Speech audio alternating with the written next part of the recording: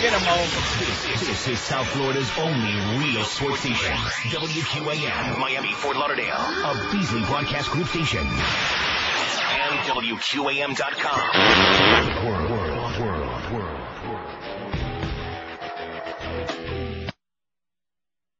David's a bitch. It's Friday, you bastard. That was a classic, baby. That was just exactly what I thought it would be. And like I said, she starts out real sweet and friendly, blah, blah, and then she gives me like a grilling like I'm on a witness stand here interrogating me. We don't have to answer to you. And we don't have to like Condoleezza or George W. Bush or Al Gore or Julie No, Bell no, or wait a minute. anybody Is else. this like a post, uh, just just a a radio show. And also, Stop that. I'm stopping it.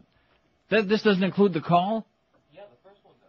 No, that's the third one though. Right, the first one is the one with the call. Well, that's the one I had queued up, and you said, "Oh no, the third one's a good one." See, God is punishing you for your association with this program. That's why you lost a hundred dollar bill. That's why twice in one week the audio vault is all screwed up, and Fat Julio, the engineer's got to come in here and bail your ass out at the last second. Here's uh, Heather from Fox News. Hi, Neil. How are you? I'm okay, I think. Good. Thanks for taking our call. We've been trying to reach you for the past couple days. Trying to reach me, you've called people that haven't been invented yet. You've called dead relatives of mine. What's the uh, story, Heather? We're working on a story about uh, the CD you're promoting on your website. That's Yeah. called Kiss. Uh, I won't say it. N word. Good morning. Heather, are you listening to the show? Uh, yes, I am. I've been listening for Did- the past couple of days. And just so you know, Well, we wait, are wait a minute. Did you us. did you hear me go through the entire uh, rationale of what that that that song had nothing to do with Condoleezza Rice? Uh huh. What about the song Condoleezza, Condoleezza? That has that well, that's obviously about Condoleezza. Uh huh. Yes. And I just want to know why you're why you're playing this on your show. No, I see. I'd like to know why. This is really interesting. Why are you calling me, asking me why I should play this? We make we have song parodies about Bill Clinton, dozens of them. Nobody ever complained about that. We have song parodies about Al Gore, dozens of them. Nobody ever complained about those. Well, about all there's the. some uh, African American folks up in here in New York who are pretty offended by it. And, Well, yeah, well, wait a minute. Let me say this to you, Karen. We're not in New York. Uh-huh. Okay, we don't broadcast in New York. We're on WQAM in Miami. Well- and, and the fact of the matter is that unless, except for people like you and the people at uh, that right-wing newsmax.com I want to make a big simus about this, if it weren't for that, they wouldn't even be aware that we exist. Neil, Okay. there's some uh, this organization that's uh, offended by it is a national organization. The But but the fact that's the fact of the matter is we've been playing these songs for many many many months. We've never had one single complaint. And when interlopers like you from outside, like from Fox News or from some right wing website, want to tell us what I mean, for you to ask me how come you're playing that because we want to play it. Okay, It- Neil, it- but what, what's it's the value comedy. in it? What is It's- it? What is it? What does it do for you? what It's does it called do for audience? it's called comedy. That's what it's called. You have a sense of humor? Do you think it's funny to call uh to call Condoleezza Rice? In in in, You think addi- it's not in, in addition in addition well Harry Belafonte called her the house negro, okay, so we'll call her whatever we But- want. But this is a little bit different. I mean, he No, no, was, it's not he the- was taking issue with It's not the college- least bit different. She is the house negro. See, you people at Fox may not understand this. Not everybody in the world is a right winger like Rupert Murdoch. There actually are those of us who are progressive or moderate, liberal, whatever we are, who also have the right to speak, to express whatever the hell we want. So, so you, w- repeat again what you just said for me there. You think she is a what? She's the house negro.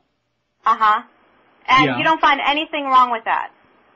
Well, what, do- what do you mean wrong with that? It's a fact. That's my opinion. Am I entitled to my Uh-huh. opinion? You're, you're certainly entitled to your opinion, and that's but you know, and, that, and that's some basic, folks are wondering and that's why you guys- basically if- that's if basically what Harry Belafonte said as well. And it's obvious. uh, This is why nobody returned your calls. Uh, Heather, or whatever your name is, Uh-huh. because we knew that you were trying to stir up a bunch of crap and take something out of context. When I asked you, I- did, I don't think did, there's anything being taken you, out of context Did you. Listen? Did you listen? See, we're not. we're not. We're not doing the Bill O'Reilly show, okay? It's funny. my show, and I'm not going to have you scream over me or try to out-talk me, okay? It's not going to work. Okay, uh, you know, I I, asked you in the beginning of the conversation, which I was very calm, and I asked you, did you hear me explain the origin of that song, the restitution song?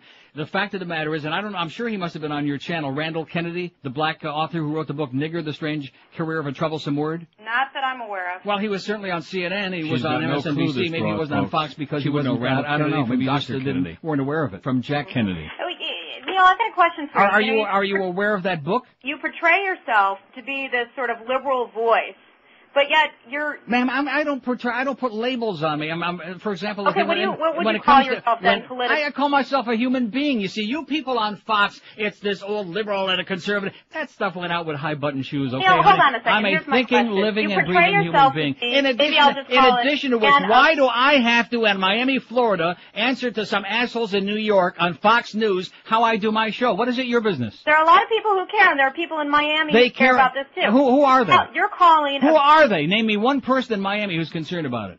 folks we know down there certainly, and I Na- name me one. too. Look, Name me one. it's offensive to Name lie about me a woman one. Name me one. of a very Honestly, high I don't care. I don't care what you say. We don't. her we don't like Condoleezza, okay? And have a nice day, okay? We're calling her whatever we feel like calling her. She's a public goddamn figure, bitch. And blow it out your right wing ass. And you and Bill. And by the way, O'Reilly didn't make the numbers. Zero.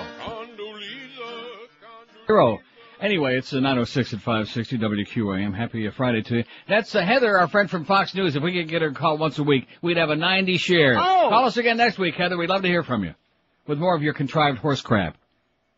Here's this bitch calling us because she's obviously been put up to it. First she's pretending to be a producer, then she comes on and she's like trying to outshout and she's going to do a talk show and she's grilling me like I'm on a goddamn witness stand. Well, how come you say this? That's my opinion. How do you like that? I don't have to justify it to you or anybody else. The people from Fox don't tell us what to say on air, and guess what, sweetheart? Neither does anybody else yet. Yet. Now maybe after Tuesday that'll change, although with all the Harvey Pitt business and the Haitian business, things seem to be taking a turn for the worst, as they say in the sausage factory. For the right wingers. They seem to be taking a turn for the worst, which maybe explains why they're so panicky and hysterical. And you can read your Newsmax.com and you can get all the lyrics you want and get all the right wing paranoia you want. I, I think, like I said yesterday, this was the day that Fox News Network, for anybody who had any doubts about the fascist news network, uh, they outed themselves. They came out of the closet as your official standard bearer of right-wing repression, censorship, and paranoia. That's what they are. So thanks very much for calling, Heather, but I'm glad that we were able to do it on the air so we could show the whole world what you're really all about, you people. You people. yeah, you, you're kind. Doing a show here in Miami, and, and, you know, if the people out there complain, I asked our, our operations manager, the program director, the janitor, I asked somebody out in the parking lot, I didn't even know who the hell it was. You hear any complaints about the restitution song, about Condoleezza? He said, no, we like that stuff. We think it's funny as crap. Why are you playing it? Because we feel like it. How about all the goddamn parodies we got on Hillary? Anybody ever complain about those? No, they love them. We ever get any complaints about the parodies we play about Mo? No, as a matter of fact, we get requests because It's time to get it on. you bet they love them. We don't. We're not interested in having the. And if there's some organization again that's going to try to muscle us, that's going to yeah, screw them. Okay.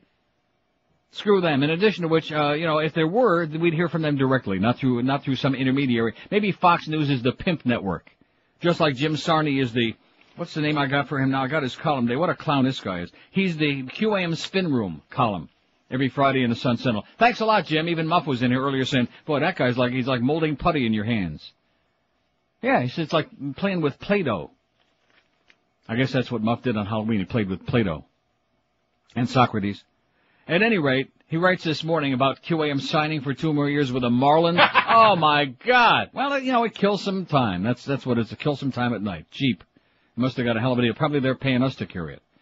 And so Jim Sarni says, there are baseball fans in South Florida, they just don't tune into the games. The ratings went from a 3-6 last season, up from a disappointing 2-5 in 2001. And then he quotes Muff Lindsay saying, baseball does well here. and Marlins are an important part of our summer programming. In other words, we got it cheap and it kills some time at night, and it sure gets better numbers at night than the Panthers, which there's nobody listening in the wintertime for hockey, because nobody knows here from hockey from... By the way, those Leafs tied Atlanta last night. Are we depressed about that? Oh, a little girls team and we blew the lead again and had to settle for a tie. And the people weren't too happy about it, eh? Not too happy about it, eh? B and C? How'd that poll come out yesterday, Mr. Hotshot? So thanks, Jim Sarni, for like sucking up. I got the hour by hours out. And you know what it averages out? What? To how many people, how many men are listening to Marlin baseball at night? About 3,500 at at any given time. 3,500 an hour. So there are baseball fans. Yeah, right. And there's a few thousand watching on TV. But you know something? It's like saying, oh, there are people who like that restaurant down the street. They just don't go there. They stand outside and they sniff. Oh, the aroma's great. You know, they get it for free, but they won't go in and spend their money. It's the same thing with saying that they're baseball fans here. If they just don't go to the games, then they aren't really fans, Jim Sarni. They're not going to give it any tangible support. It can't exist there. Don't you understand that, you ugly, ugly old man? He makes me look good. He's. You ever see his picture? No. Man, looks like he's, it looks like, oh, he just uh, walked by uh, Moe's bag or something. Like the aroma's got that uh, scrunched up puss. And I've heard that there's nothing worse than a scrunched up puss, but I'll take your word for it. Now, how many votes? I guess we better do the break because we got no spots today. Nice going with that sales department. Oh, by the way, P.D. Lenny, you're out of the closet too. Rumor has it, what I tell you about him being two-faced and a backstabber. He's always ripping poor Screw Ann, my good close uh, personal friend Screw Ann behind her back, our sales manager, the lovely Screw Ann. And her good friend Roy. But when it comes when they were in Vegas, guess who at the uh, dinner they took him to a nice restaurant, the wholesale department for dinner. Guess who we sat next to? Screw Ann, sucked up to her, put on a good phony act. You're not fooling anybody, Petey Lenny. Okay, you're out of the closet. You're phony. You're a backstabber. But don't forget, It's time to get it on. it's 11 after 9 at 560 WQAM. We'll be playing that uh, Heather piece about, what, 20 or 30 times a day because it's almost five, it's four and a half minutes long. Kill some good time. Plus it's Friday. Almost 1,200 votes on the poll yesterday. See, people that don't understand this show that want to come in, like I told her, take stuff out of context and stir up a pile of crap, and especially right-wingers that want to do that. Oh, well, you know, you're supposed to be a liberal. I'm not supposed to be anything. I'm just an asshole here getting paid to open up a mouth and give my opinions. And don't have to take orders from Rupert Murdoch or anybody in New York or D.C. or any other goddamn place. Yet. Hey, let me tell you about a great place, Dial a Mattress. Hey, the weekend is here. You know, you don't want to be tossing and turning all weekend long and not getting any sleep. The weekend is a time to sleep in. That's what I always say, except that damn little dog. Well, anyway.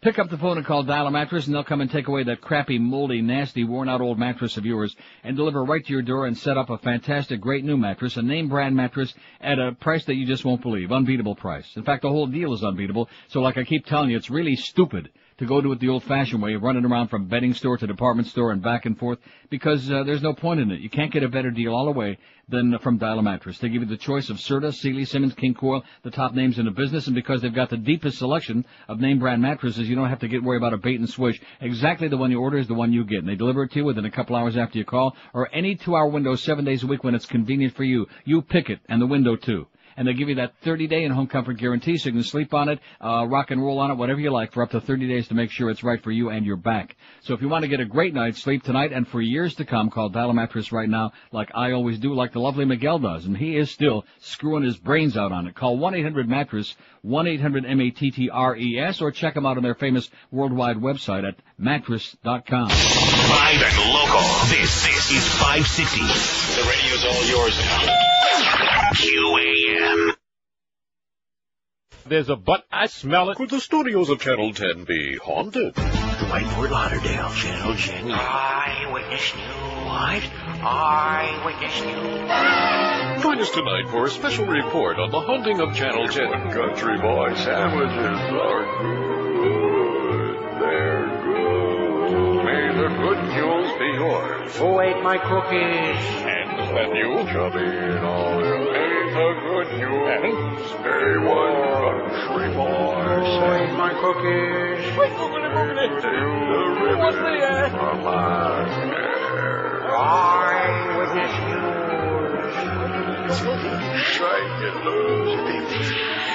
Tubby Boo. Tubby Boo. Eyewitness Dwight's eyes popping out of his head. Turn to dust in his shoes. A very, very fine dust indeed. Eyewitness Dwight turned to dust in his shoes. Eyewitness news.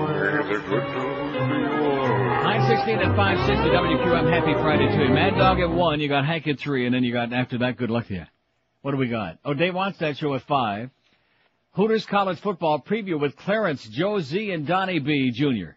7 o'clock tonight, followed by Eddie K of GA and uh, ESPN Radio overnight because the overnight guys are on vacation. But a short vacation, I noticed. Just like a long weekend.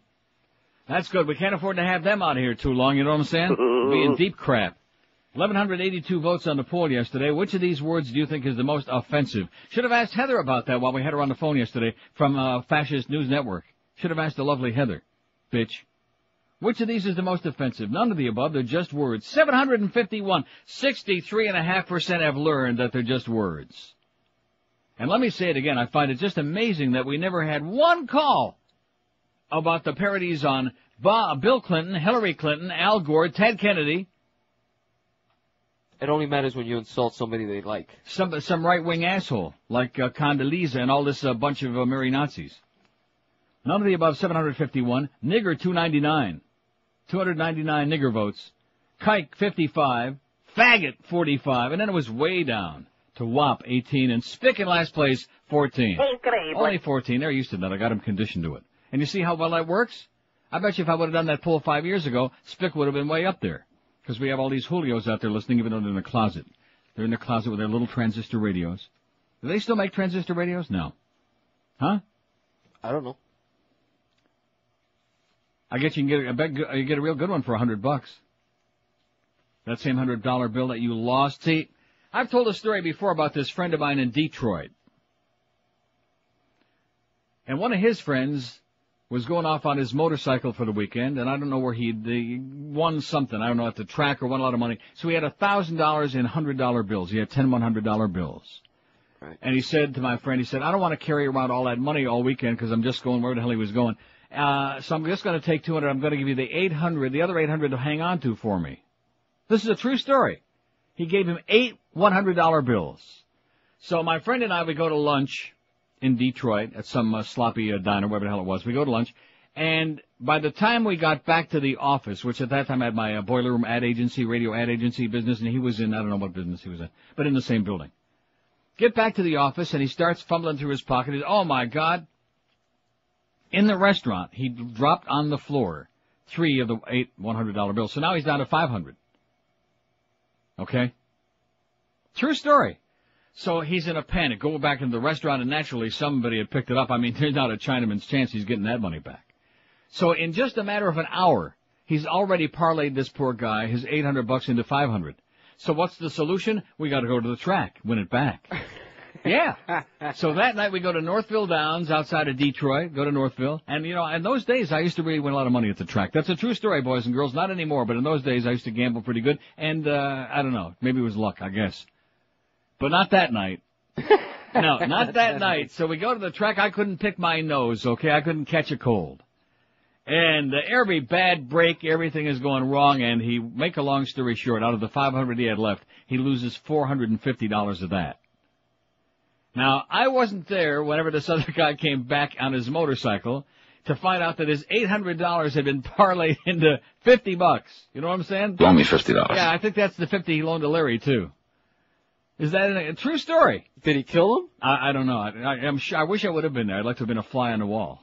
So that if I had the wings, I could have gotten away from there real quick, but, oh man. I feel a little better about my $100 Yeah. bill.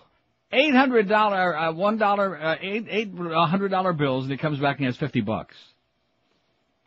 How do you like to try to explain your way out of that one, huh? Thank New God, England Paul-. Are you stepping on me again? New England Paul, who's getting really chronic on a fax machine, says, listen to the show yesterday, it could have been your best show ever. I don't think so. Don't get too carried away. It was a great call, but I wouldn't say it was the best show ever. Maybe this week. Love it when you're pissed off and fired up. Well, God damn it, that's good, Paul. Keep up the good work and keep playing all your bits. Tell that bitch to kiss your big fat ass. Well, hey, guess what, Heather? Kiss my big fat Rectum. ass. My big pimply old wrinkly ass. And just when you got your uh, lips on it, I'll give you a little extra gift in there too. Uh, did I give the poll results? Yes, I did. Thank goodness, because boy, he didn't waste any time. Even though he did not respond to my question that I asked him. See, one thing about Boca Brian and about Eric up there, uh, at, wherever he is. They got their, like I said yesterday, they got their own little uh, business going with our website. I mean, I, I'm, excuse me to ask any questions so I could say on the air here something intelligent and tell the poor suckers out there what's going to happen with the uh, orders and whether the uh, Mobit CD is going to go. I, I don't know. So I asked him a little question on the poll this morning that I faxed to Eric. Do I get an answer? No. Do I have any idea what's going on with that? No. No. Did Brian tell you anything at Treasure Island last night before you lost your hundred dollars? No. No. See, I don't want to start playing Butch Boss, but I guess I'm going to have to. It'd be nice if you people would communicate, just like all that other contretemps that started uh, days and days before I found out about with the website and with that old other CD and with the, restitution song. Oh, when all the crap hit the fan. Don't talk to me about it. I mean, why the hell would anybody want to tell the old fag about it? He might say something on the air, and the audience might discover what's really going on. See, I'd like to be able, just once in my life, to come on here and say, "Hey, folks, here's what's going on," so the audience can discover what it is instead of this like backdoor. Who was that? Eric, Well, yeah, what does he have to say? sending you a fax. Oh, he's sending me a fax. Great. Here's today's poll. I thought of this coming to work this morning. I don't know what prompted me. It just, what event of the last 25 years has been the greatest, had, let me try it again. Which event of the last 25 years has had the greatest negative impact on South Florida? The Mariel boat lift, the 2000 hanging chad election, Hurricane Andrew, or Elian? Now I must be leaving something out. It seems to me there's been so many other bad things that have happened here, but they must have skipped my mind. Liberty City riots? I guess I should put that on there too. Liberty City riots, Eric. Liberty City riots. Remember that? Oh, you weren't here. No. You were on a banana boat somewhere. You were you were hanging out there with Alien down there in the Caribbean. Liberty City riots. I guess, and if there's anything that I'm missing there, I'm sure somebody will call in or fax in or whatever. I think that's an excellent question. If you ask me. I'll tell you who's really I'm starting to like a lot. Jack Cafferty on CNN, that goofball they have in the morning with Paula. See, they're starting to change the whole approach now because they're getting butchered by that fascist news network, our good friends at Fox, with those silly assholes that sit around and yuck it up in the morning. So now they're sitting around and yucking it up too. They sit on that sofa. But he was talking about uh, our good close personal friend, the chairman of the, the very briefly, I'm sure. He'll be gone before he can say uh, asshole. Harvey Pitt who is the Pitts. What the hell did I do with that story? Oh, here it is. Paul Krugman writes in the New York Times today, the Pitt principle. And the latest scandal with Harvey Pitt yesterday. And so they asked the viewers to email them, which they have a different topic that they ask about every day. There wasn't one person who emailed them out of the hundreds or whatever they got, thousands maybe, supporting Harvey Pitt. Not one. He must go. Okay? It's like the Fox watching the chicken coop. The Fox network watching the chicken coop. That's what it's like. So there's our poll question. Let's see, Miami boat, the Mara boat lift, uh, hang a chat, and we got to put the Liberty City riots on there too. Would be a good one. How about the influx of Haitians? No, that's not good. What are you laughing about? That hasn't been a picnic, with all due respect to our good close personal Haitian friends, which I'm sure we must have one or two, don't we? No. Sure we do. The Pitt principle, writes Paul Krugman, he says, so Harvey Pitt decided not to tell other members of the Securities and Exchange Commission a small detail about the man he had chosen to head a crucial new accounting oversight board after turning his back on a far more qualified candidate. William Webster reports Stephen Labaton of the Times headed the audit committee at U.S. Technologies. Now that company is being sued by investors who claim that management defrauded them of millions. And what did Mr. Webster's committee do after an outside auditor raised questions about the company's financial controls? That's right, it fired the auditor. Mr. Pitt's response when this story broke beats anything a satirist could have imagined. Pitt speaks, seeks probe of himself, read one headline. Honest. Mr. Pitt's own agency will investigate how he chose Mr. Webster. Meanwhile, what was Mr. Webster thinking? Nobody thinks he's corrupt, but having failed so spectacularly to police executives at a single small company, how could he imagine himself qualified to enforce honest accounting for all of corporate America? Yet it's no accident that Mr. Pitt picked the wrong man. Mr. Webster was chosen over better candidates precisely because accounting industry lobbyists, a group that still clearly includes Mr. Pitt, believed he'd be ineffectual. Let's call it the Pitt principle. The famous Peter principle said that managers fail because they rise to the level of their incompetence. The Pitt principle tells us that sometimes incompetence is exactly what the people in charge want. In this particular case, ordinary investors demanded a crackdown on corporate malfeasance, and Mr. Pitt pretended to comply. But this administration is won by and for people who've profited handsomely from their insider connections. Remember Harken and Halliburton? And why won't the administration come clean about that energy task force? So he picked someone with an impressive but irrelevant background whom he could count on not to get the job done. This principle explains a lot. For example, the Treasury Secretary's job is to pursue sound fiscal and economic policies, so if you don't want that job done, you appoint a prominent manufacturing executive with little understanding either of federal budgets or of macroeconomics. He'll be just the man to preside over a lightning-fast transition from record budget surpluses to huge deficits. He'll even cheerily declare that the latest indicators look good just days before consumer confidence plunges to a nine-year low. The Attorney General's job is to uphold the Constitution and enforce the rule of law, so if you don't want that job done, you pick a former senator who doesn't have much respect either for the law or for the Constitution, especially silly stuff about due process, separation of church and state, and all that. He'll be just the man to respond to a national crisis by imprisoning more than a thousand people without charges, while catching not a single person who's committed an act of terrorism, not even the anthrax mailer. Talking about John Ashcroft now. The same principle can be applied at lower levels. Intelligence and defense experts should realistically assess threats to national security and the consequences of U.S. military action. So if you don't want that job done, you place it in the hands of prominent neoconservative intellectuals with no real-world experience. They can be counted on to perceive terrorist links where the CIA says they don't exist and to offer blithe assurances about fighting a war in a densely populated urban area when the military itself is very nervous about doing it. But the most important application of the Pitt principle comes at the top. The president's job is to unify the nation and lead it through difficult times. If you don't want that job done, you appoint an affable fellow from a famous family who's led a charmed business and political life thanks to his insider advantage. He'll be the kind of guy who sees nothing wrong in seeking partisan advantage from a national crisis, even going so far as to declare that members of the other party don't care about the nation's security. That way, a great surge of national unity and good feeling can be converted in little more than a year into a growing sense of dismay, with more and more Americans saying that the country is going in the wrong direction writes Paul Krugman in today's New York Times. And you are? Absolutely correct, sir. Right on it, Paul. 927 at 560 WQAM. Uh, should I vote? I guess I'll vote during the break. I'm not really sure what my answer is going to be on that poll today. That's the kind I like. The kind of poll where you have to go like, like I don't know. Kind of think about it for like two, three seconds. I'll tell you one thing, you shouldn't be thinking for like even one second about where you're going to buy you a great new car. Tom Lavin, down there at the Hallett Pontiac GMC is the kind of guy you want to do business with. No BS, no games. He pulls uh, all the punches out, you know what I'm saying, in the uh, card.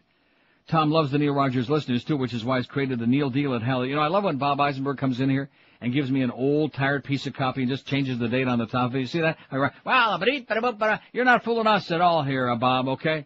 And it's a good thing that Tom is an easygoing guy or he'd uh, give this account to the real sales guy. Save big dollars on all Pontiacs and, G's and GMCs in stock during the Neil deal that's going on again. Just mention you heard about it here on the show. Mention Bob Eisenberg's name. And after they pick themselves up the floor from laughing their ass off, they'll give you a hell of a deal. Stop by Hallett Pontiac GMC at 13401 South Dixie Highway. That's US 1 across from the falls where every vehicle is marked with what's supposed to be the lowest price. Mention the Neil Rogers deal and save even more. Check out the complete line of GMC SUVs, including the Envoy and the all-new Vibe SUV that's got the power of a big, gutsy, gas-guzzling sports car.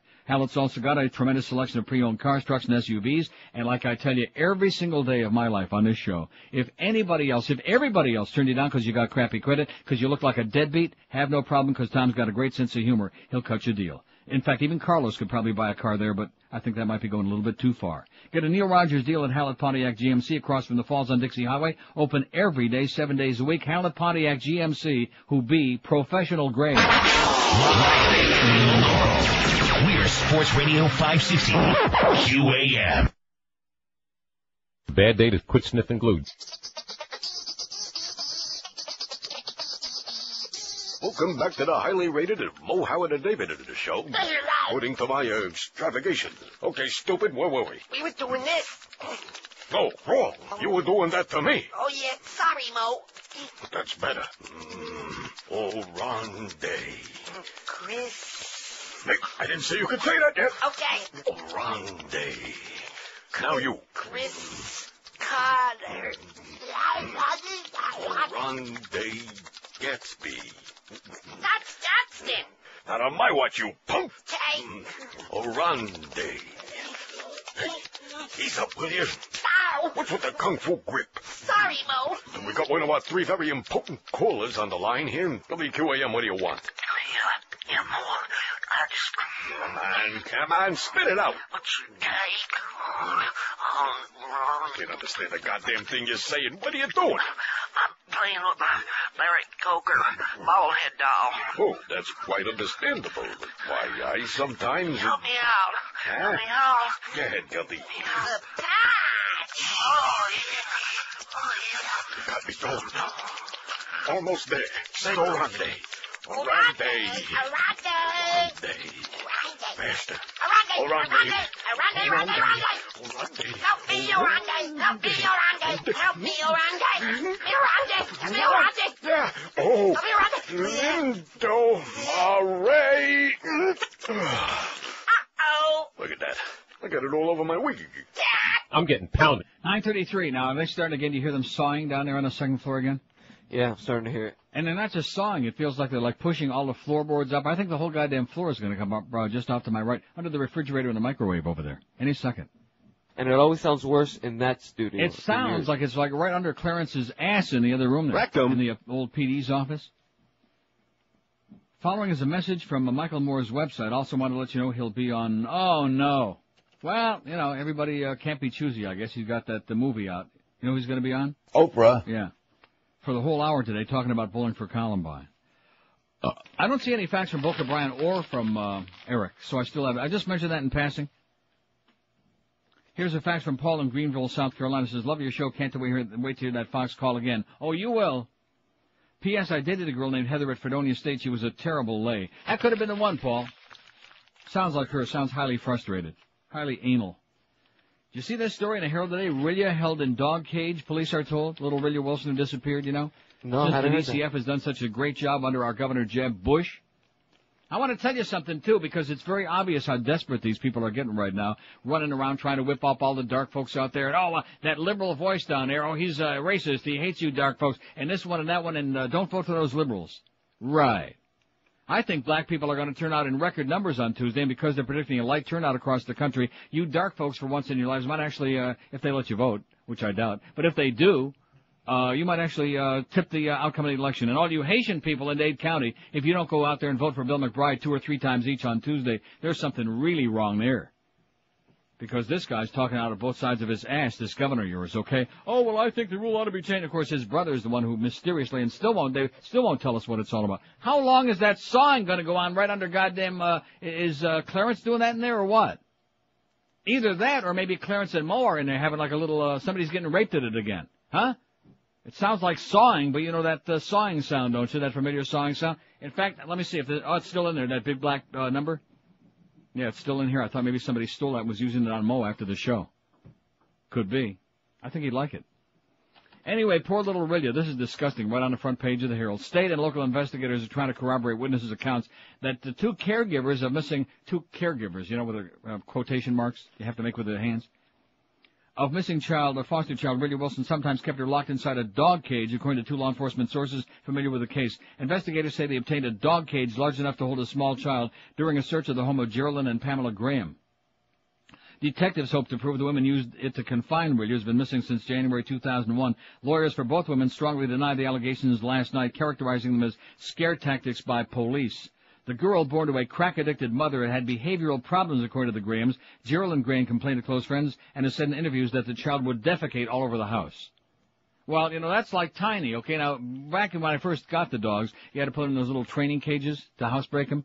Right. But the dog is 14 years old now, and of course she was 5 years old when she disappeared. I don't think like you put like 5-year-olds in uh, cages to housebreak them, to train them, to potty train them. But nevertheless, that's what goes on here in the state of Florida. Forced sterilization, baby, it's the only answer. And if that pisses off Heather or the people at Fox News, or you want to make it into a racist comment, go right ahead. Twist and turn and manipulate for your own fun and advantage. Just keep keep taking people's words out of context and twist whatever you want. Forced sterilization. Not we're not talking about for any one group. We're talking about people who shouldn't be allowed to reproduce. And believe me, there's more than uh, uh, just dark folks in that category. Seriously, if he don't stop that uh, sawing down there. Oprah. And, and this is, you know, usually the banging, at least it sounds like it's fairly distant a little bit. The drilling and the banging. But the sawing, he's got to be raping Mo in there. He's got to be. Clarence has got to be humping him. Got to be. What else could that be? It's right up against the wall there. Uh, Can you hear it? Yeah, I can hear from in here. Man! 83 votes on the poll already. What event in the last 25 years has had the greatest negative impact on South Florida? Mariel Boatlift, that was my vote. Trust me when I tell you. Oh, I still don't see any facts, by the way, from, oh, here it is. Here it is. About time, fatso. Let's see what he says before I do the uh, poll result. It says we're going to be selling the revised Mo CD starting Monday. Between now and then, I have to do the new cover art, provide a way for people to confirm or cancel. Regards, Eric. Well, best regards, Eric. See, at least I got a response out of him. It would be nice if you let me know this, because those people who ordered the other CD are listening probably now. Maybe some of them are getting ready to turn it off, like Rick the Mailman. What, is that pounding on a goddamn wall again? What are they doing in there? They're No drilling, they're pounding, they're sawing, they're sucking, and something else that I think rhymes with the last one. Man. So thanks for responding, Eric. Here's our poll result right up to the moment. 88 votes. Remember 88, Radio 88, WCBS in New York? Of course you don't. You ain't never been in New York. You would know WCBS from, uh, from anything. Mariel Boatlift, 43. Which event in the last 25 years has created the greatest negative impact in South Florida? 2000 Hanging Chad election, 33. Hurricane Andrew, 5. Elian, only 4. You're small potatoes, Elian. Out of sight, out of mind. And Liberty City riots, only 3. How soon we forget. 21 till uh, 10 at 560 WQ. We're going to take a ton of calls here today, man. We're going to take 4,000 calls between now and 1 o'clock, or I'm going to stay over extra. We'll push that mad dog right off the edge of the uh, map. That, we'll push the whole schedule back, you know? Like on the ass, ass end there. Who needs ESPN radio? Who needs that crap? By the way, thanks again for the puff piece, Jim Sarni, from all of us here at QAM. Thanks for all the sucking. In fact, Muff said he's exhausted from it. Here's a place that you'll love. Delights of West Boca, your low carbohydrate, uh, what is it? Carbohydrate and sugar-free Atkins Diet Superstore. They got a great new selection of low-carb cookies. Oh man, they're unbelievable. 14 different cookies, and uh, they're delicious from three different bakers, no less. They got peanut butter, chocolate chocolate chip, lemon. Eh, lemon cookies to me are kind of like bland, you know, and uh, coconut, all sugar-free, low carb. And there's plenty of bland people out there, so try lemon cookies. Stop by Delights and sample these or any other great products before you buy them if you want. Delights uh, gave us a loaf of their new carb, uh, low carb bread called uh, Sinfully Low Carb Bread. Petey Lenny, I think, put it under his armpit and took it home for his girlfriend. Spread some of the uh, new La Nuba jam on it, and you got a great low-carb breakfast. You'll be jamming it. And don't forget, as your official Atkins retail center, Delights of West Boca sells every Atkins Diet brand product at 25% off today, tomorrow, a week from Sukkot, and every day. And of course, everybody knows Atkins for a lot of people out there works very effectively. So check out Delights of West Boca. They got a friendly, knowledgeable staff to lead you down the path to good health and help you lose that disgusting fat. It's grotesque. It looks bad. It's killing you, believe me, from somebody who knows.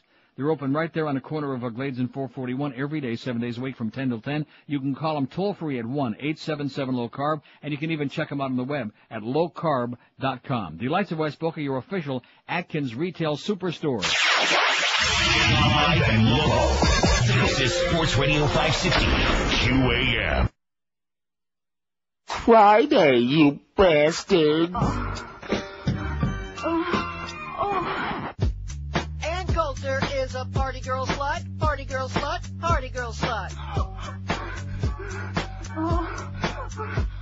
Ann Coulter is a party girl slut, party girl slut, party girl slut. On her back, legs are spread. Nancy snatch is good head. Nancy snatch, Nancy snatch, Nancy snatch, Nancy snatch, Nancy snatch, Nancy snatch. A camel toe, a camel toe, a camel toe, camel toe, a camel toe, camel toe, camel toe. A moralist monster, a good who wants to be a media hoe and prefers it on top quiver. You want more on this lady? Here's what I'll give you. She's got a book to read about slandering. Nobody knows more about slandering out with a big stupid mouth. Anyone to the left of Mangala, such a good Christian girl, you want to strangle her. Pontificating who she's hating, political pundit pontificating, scrub on the floor and masturbating. A Republican skanky hoe. She's a federalissimo, making liberal a dirty word, you know, in a mini skirt showing camel toe. Ann Coulter knows what hate can be in a mini skirt that smells fishy. She's a tall drink of water on the side of law and order with a back alley look. If you like your broads taller, if you got the money, she'll spread those legs with a cigarette and a Chardonnay. Ann Coulter and Coulter, political pundit, the angel of the right and an easy lady. 944 at 560 WQAM. That skank was on Fox News last night. I was channel surfing. And there was Hannity and uh, Sherlock Holmes. Well, what a, I mean, the shows on that uh, channel are just amazing. But they got those big numbers, sure, because the right wingers found that they got their own network. And a lot of other naive people are too stupid to understand where they're coming from. So they got number on there. We'll see how long that lasts. But at any rate, so uh, the skank was on there last night. Pontificating the same tired crap, but beep, boop, and getting all indignant and bent out of shape. Old news, okay? You guys ought to realize she's old news, washed up, dead meat, yesterday's news. Get rid of her. Atheist Eagle Scout faces expulsion. Thank God that the Eagles and the Boy Scouts are such great, upstanding organizations. Eagle Scout Daryl Lambert has earned 37 merit badges, worked more than 1,000 hours of community service, and helps lead a Boy Scout troop in his hometown. But, the 19-year-old has another distinction that may lead to his removal from the Boy Scouts. He's an atheist. How do you like that? Oh my god. Right. Lambert was given roughly a week by the Boy Scouts regional executive to declare belief in a supreme being and comply with Boy Scouts policy or quit the Scouts. The official and Lambert were to talk again this week regarding Lambert's answer, although a definite date hasn't been set yet. We've asked him to search his heart, to confer with family members, to give this great thought. Brad Farmer, the Scout executive of Chief Seattle Council of the Boy Scouts, told his son of Bremerton, if he says he's an avowed atheist, he does not meet the standards of membership. No fags, no atheist, I guess that leaves me out. On membership applications, Boy Scouts and adult leaders must say they recognize some higher power, not necessarily religious. Mother Nature would be acceptable, Farmer said. Or Mother... something. As a private organization, the Boy Scouts are permitted to exclude certain people from membership. The organization bans gays and atheists. Gays and atheists, and especially atheist gays. Lambert has been a scout since he was nine, said he wouldn't profess a belief and doesn't feel it, uh, saying it amounts to a lie. I wouldn't be a good scout then, would I? Oh, come on, lie a little. The issue arose about three weeks ago when Lambert got into an argument with a scout leader at a Boy Scout leadership training seminar over whether atheists should be expelled from the organization. Farmer's office soon contacted him to talk about his non-belief. You ready for this? To talk about his non-belief. In other words, you're gonna believe, God damn it! Oh, excuse us. Lambert disclosed his atheism to scout leaders overseeing his Eagle Scout application last year, but still received the award. The issue was surfaced before In 1998, 16-year-old twins Michael and William Randall, who refused to take an oath to God, were awarded Eagle badges after a seven-year-old legal fight with Orange County, California uh, City Council. You can't be a good person unless you believe in God. How do you like that? But you, well, it doesn't make any difference whether you're good or bad, but you can't be a scout unless you believe in God and you're a heterosexual and screwing some bitch or whatever the hell you're doing. That's it.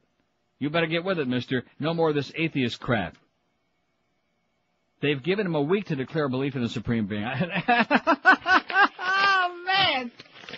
Oh, and the good news is, because Mo has done such a great job on those Dolphin games, because it's going to be a tough game in Green Bay Monday night, for a little pep talk, they're going to invite him in the locker room before the game. You know, like Knute Rockne, you know, he's gonna, they're all gonna huddle around Mo and he's, you know what he's gonna do? Who's going to give Ricky a blow? Yeah. 139 votes on the poll. What event of the last 25 years has had the greatest negative impact on South Florida? 70 of us say Mariel Boatlift, 50.3%. The 2000 Hanging Chad election, 48, 34.5%.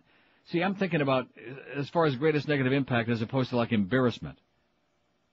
See what I'm saying? Now the poll asks greatest negative impact, so I think so far we're right. As far as the embarrassment, the hanging Chad could have been the winner. Hurricane and it might still be. Hurricane Andrew 12, Elian only 6. Poor little Elian, man. That was pretty embarrassing for us. Small potatoes. And Liberty City Riots 3. Well again, the question though isn't embarrassing. 5670560, pound 560 on the AT&T and Verizon wireless line. Here's Miami. Hello. Hey, Neil. Yes, sir. You left Jeb Bush off that poll. I can't believe it. That would win hands down if you put him on Uh-huh. there. I would put him on there right away. Jeb Bush isn't an event. Well, he's a pretty big event. His defeat on Tuesday, Negative. Negative, negative event. Yeah. Okay, vote early and vote often on Tuesday. Okay, great. Excellent call. There you go. We got one other call on the board. Here we go with these calls again. Oh no. After the highlight yesterday, after such a grandiose moment on this show. And now we're right back to this again. And we listened to that. Was that, was that a call? No. Did that man have anything to say? No. Nothing. Five six seven oh five sixty pound five sixty on the AT and T and Verizon wireless line. Here's our last call from Margate. I can't believe we're back to this again. Hello. Margate is gone. That's our last call. and There's nobody on it. Great. You know what I'm, I think I'm going to say, and then just go home. Bye, bye, bye. See ya. Oh, we want the calls back. That's the meat and potatoes. That's the bread and butter of the show is the calls and get whipped up to a frenzy about Okay. So here we go. We're on a roll. The show has been taken off like a goddamn spaceship. Everything is rocking and rolling. We had that great call, which I played again, and these people, duh, like that. Same old tired crap, man. And Tom Jicken tells me I gotta come back here to take the pulse. There isn't any goddamn pulse. You gotta be kidding me, Tommy. And by the way, go to Charles Alfieri. People are laughing their ass off at you. Five six seven oh five sixty pound five sixty on the AT and T line. Let's get it going here, baby. Let's get going. Get off your dead ass. Oh, there's going to be a big voter turnout here on Tuesday. Not. They're already making excuses. Oh, the lines are going to be too long, and these newfangled machines, and the ballot is so long. Yeah, okay. Whatever you say. Palm Beach, hello. Neil, Yes, sir. love the show. Uh-huh. Hey, Ann Coulter has two distinctly different sized breasts. Really? She does, a, she does a good job of covering up with her long hair. I didn't see that she had any of them last night on Fox. Well- Maybe she like shaved them off or something. She didn't have Now, any she's of got them. a normal one and one's pretty much gone. Hmm. Maybe she So- loaned it to Mariah. Great day. Okay, see you. Another good one. Five six seven oh five sixty pound five sixty on the AT and T line. QAM. Hello. Hello, Neil. Yes, sir. You still choking that chicken? Yeah, choke this. WQAM. QAM. Okay. It's going to be uh, hysterical Friday. I can see it already. Get in the mood for it. QAM. Hello, Neil. Yes, sir. You the man. Yeah. Yeah. And, and, and, like I said, this bull crap about, well, the callers are this and they're uh, the big part of the show, you have got nothing to say. You had nothing to say before I went away for the, like in March, and I come back here after a seven or eight month hiatus, and you still got nothing to say about anything. People like him, is, is he funny? Ew, is he no. interesting? Is No. he amusing? No. Nothing. Nothing. Have something to say, goddammit. You got a goddamn election coming up on Tuesday. You got uh, all kinds of crap going on here with, uh, they don't care about any of it. About anything. Serious, amusing, in between. How about we ask, what do you get for Halloween? What was in your sack? That's a good question. What was in your sack? What's that? Something to hold for Miguel. Uh, Something to hold for Miguel. Yeah, tickets to a a race that we're not supposed to mention. Oh, the one, the uh, Budweiser race that we can't mention because it's like uh, we got some other Crown Royal or something sponsoring it. Okay, we won't mention Budweiser. Well, what, what do you mean tickets to hold for Miguel? I don't understand that. Is Miguel like in the building? Is he? Are you like his pimp now or what? and by the way, Miguel isn't allowed to go to Treasure Island anymore because his girlfriend's getting really psychotic about it. That's a true story. Was he there last night? No, he and wasn't. he won't be there anymore either. Great. One thing when he goes out to the places to suck up the free booze, but when he might be, uh, you know, looking on something else at Treasure Island, the answer is no way Jose and Miguel either. Well, they got that new mattress to break in. WQAM. QAM. Here's, uh, line two. Hello. Neil, Yes, sir. Neil, uh, happy birthday. Tuesday. Wait till Tuesday. Uh, my son, uh, Monday. Yeah. Wait, well, wait, wait till Monday. Five six seven oh five sixty pound five sixty on the AT and this this really is. It's the and I, I came in here on such a high, like floating on cloud nine. Everybody in this town was talking about that Fox bitch yesterday, about that verbal exchange we had on this radio show. That it was the talk of the town. Of course, nothing in the newspaper because nobody here writes anything about radio, and God forbid they should give us too much publicity. Except Jim Sarni writing about how everybody loves baseball, which they don't quoting bogus numbers from Muff. Muff, Muff could have told him we had a 22 share. He would he would have written it. He didn't have any idea. Come on, Muff. Next time, tell him baseball had a 30 share. You'll see it in the paper. Delray Beach. Hello. Delray Beach. Hello, Neil. Sounds like you. Yes. How are you? Good. Um, that was an unbelievable call yesterday. Yeah. I think she would have uh, called you a damn faggot if you would have let her on another five minutes. Uh huh. That's how uh, those right wing people think. Uh huh.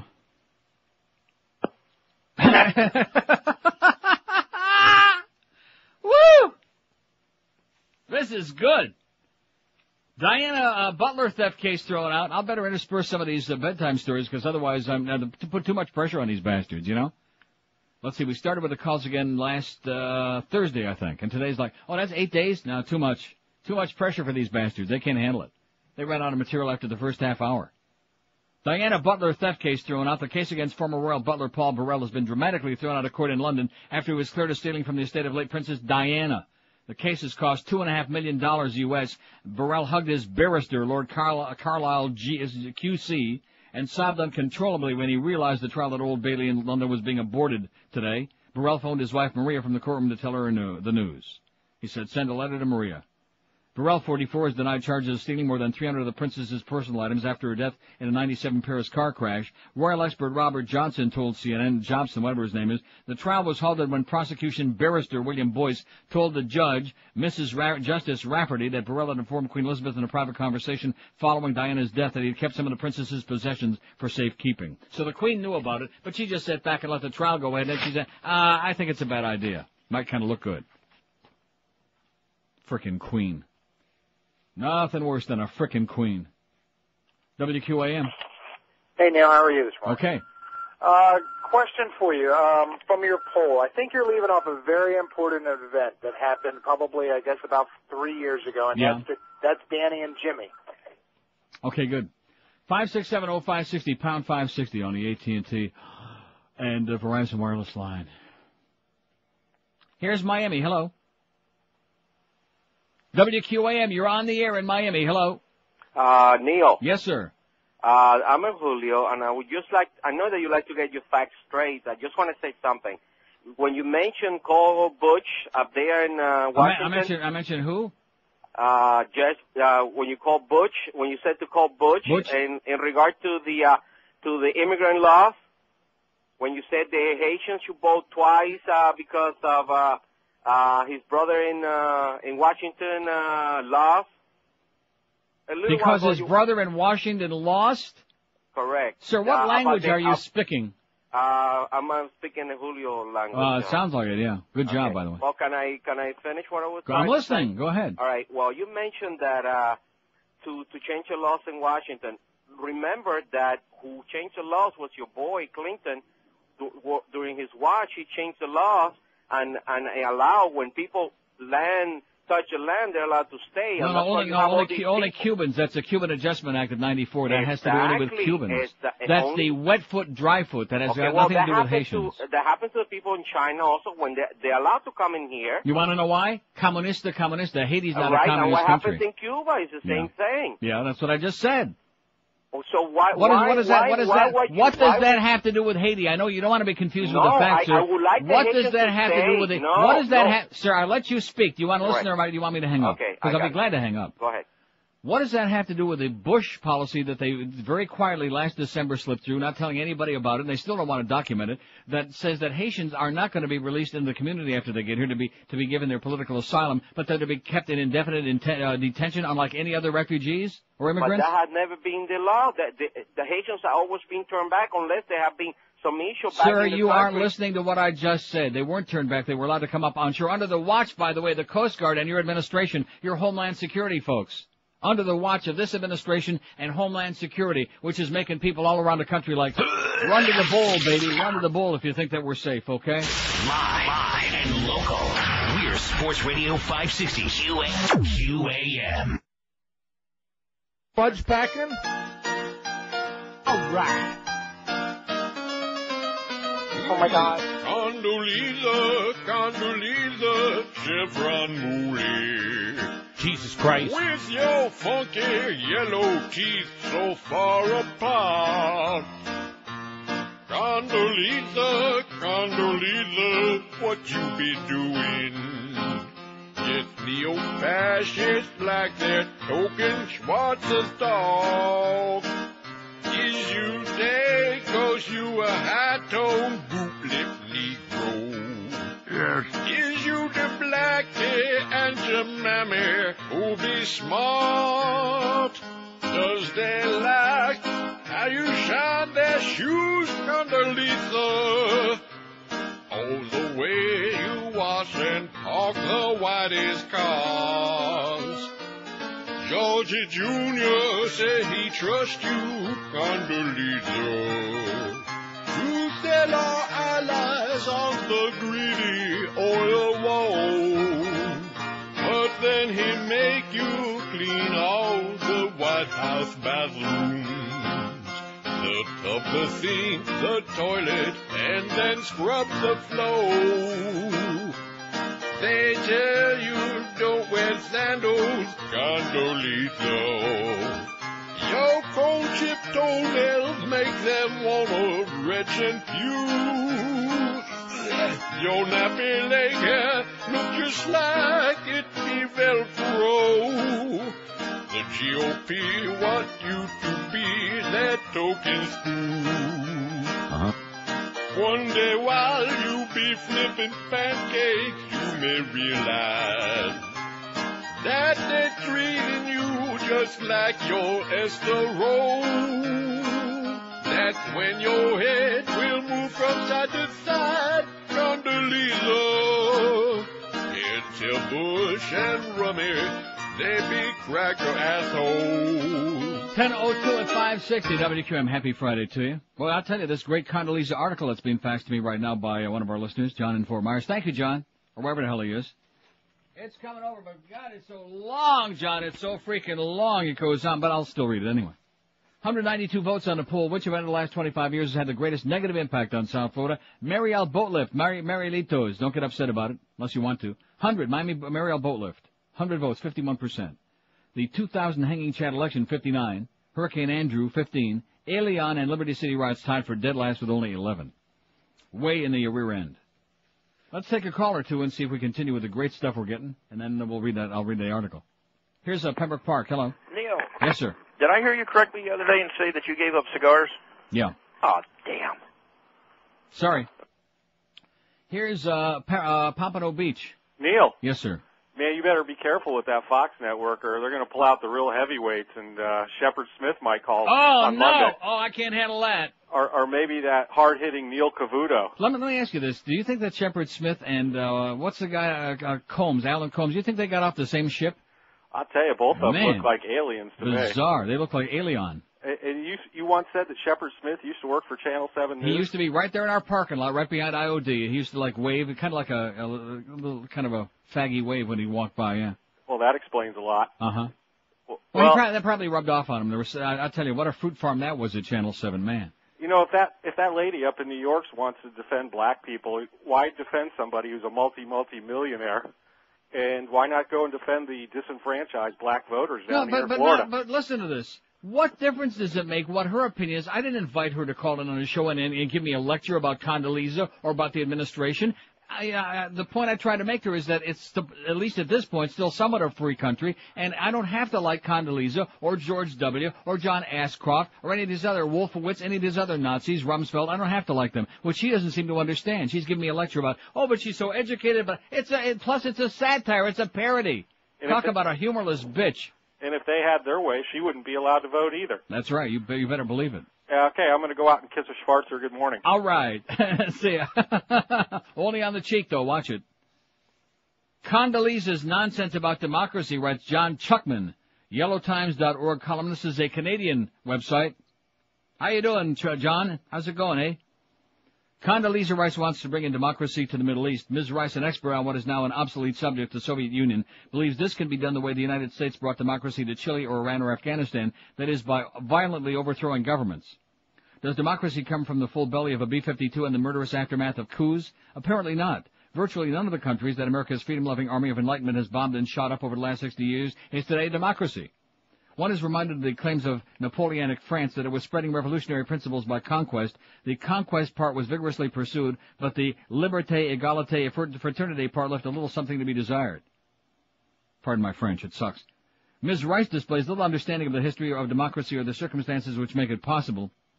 She's not alone in this. Former Secretary of State Madeleine Albright's efforts on democracy initiatives displayed a similar lack of understanding, although it must be said in Mrs. Albright's favor, she was less inclined than ever the hysterical Ms. Rice to classify unprovoked attack by the great powers an initiative for democracy. Democracy is simply a natural development of a healthy, growing society. Over the long term, it requires no revolution, no coup, and no sacred writ. It grows and blooms as automatically as flower seeds tossed in a good patch of earth, although it's a plant whose maturity is measured in human lifetimes rather than seasons. The early United States, after its revolution, was no more a democracy than was the mother country. The growing authority of parliaments had long limited the authority of Britain's monarchy. Even that mighty ruler, Elizabeth I, more than a century and a half before George III and the American Revolution, felt the limits of parliament closing in on her.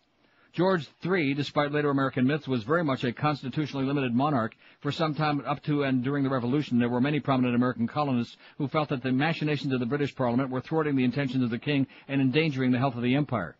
Even at that early time, people understood that elected government was just as capable of bad policy as a royal one or an aristocratic one. Indeed, the genius of the British unwritten constitution was seen by most thoughtful American colonists as being in the way it combined uh, uh, the three forms of government to offset each other, the direct origin of the American concept of checks and balances by three branches of government. While the British franchise was then highly restricted, it was no less so in the early U.S. It's estimated that maybe 1% of the population could vote in early Virginia with all the restrictions of age, sex, race, and ownership of property. That's actually roughly comparable to the percentage of people making decisions in contemporary communist China, where about 60 million party members hold sway over 1.2 billion people. The American Revolution didn't produce anything resembling a democracy, nor did the later Constitutional Convention. It took about 200 years of growth and change in the U.S. for that to happen.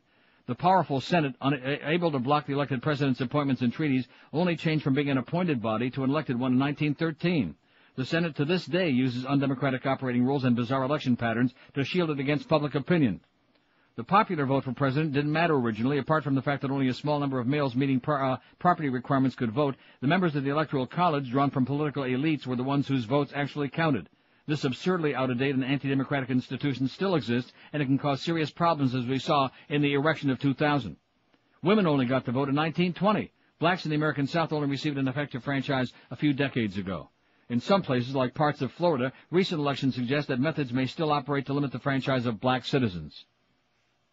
America has two parties sharing a quasi-monopoly on political power, and they produce much the same effects in the body politic that quasi-monopolies produce in the marketplace. The two quasi-monopoly parties are financed through a corrupt system of private donations. America herself still has a considerable way to go along the path to democracy. Yet Americans generally believe that their revolution and constitutional convention created a full-blown democracy and near-perfect system of government right from the start. Perhaps this explains the blind faith of people like Ms. Rice, Condoleezza, and thinking that if you can just have a big war or coup somewhere, you can create a democracy. Democracy comes gradually because it represents a massive social change that affects all relationships in society. The chief driving force toward democracy is the emergence of a strong middle class whose members have too much at stake to leave decisions to a king or group of aristocrats. The size of the middle class expands by steady economic growth. In the West, this process of change has proceeded steadily since the Renaissance and the rise of science and applied technology, with variations in the pattern of individual countries reflecting adjustments to peculiarities of local culture, invasions, civil wars, and varying rates of economic change. Many of these societies America looks askance at in the world today make no progress toward democracy because they make little progress of any kind, especially economic progress. Static societies with little or no economic growth are ones where ancient customs and social relationships do not change, where kings or warlords rule just as they did thousands of years ago in early societies. Economic growth is like a magical solvent that begins to erode old relationships, and given enough of it over a considerable per- period of time, it erodes old ways of governing completely. This process is observable even within regions of a country. The American South was remarkably backward and static for a good part of the 20th century. But the shift of business and middle class population to the Sun Belt during the middle of the century brought some rapid change, ergo the phenomenon known as the New South. It has been said that if in the wake of 9-11 the United States truly had wanted to battle for democracy and human rights, it would have dropped dollar bills rather than bombs on Afghanistan. That of course is an exaggeration, but it contains important truth. The U.S. could make a genuine contribution to the spread of democracy were it to focus its attention on the economics of the world's more backward places. It might start with some generosity in foreign aid. The U.S. is the stingiest of all advanced countries in giving economic assistance to poor countries, giving it an annual rate of one-tenth of 1% of its GDP. Reducing or doing away with American agricultural subsidies that impoverish third world farmers would also be a great help. So would the tariff and non-tariff barriers that the U.S. uses against many products from these struggling countries.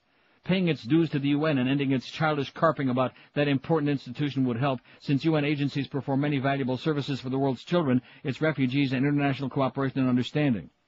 In general, Concern for democracy calls for the U.S. to start behaving more like a responsible neighbor in the international community and rather less like an 18th century French aristocrat who barely notices as his carriage thumps over the body of whoever happens to be in its path.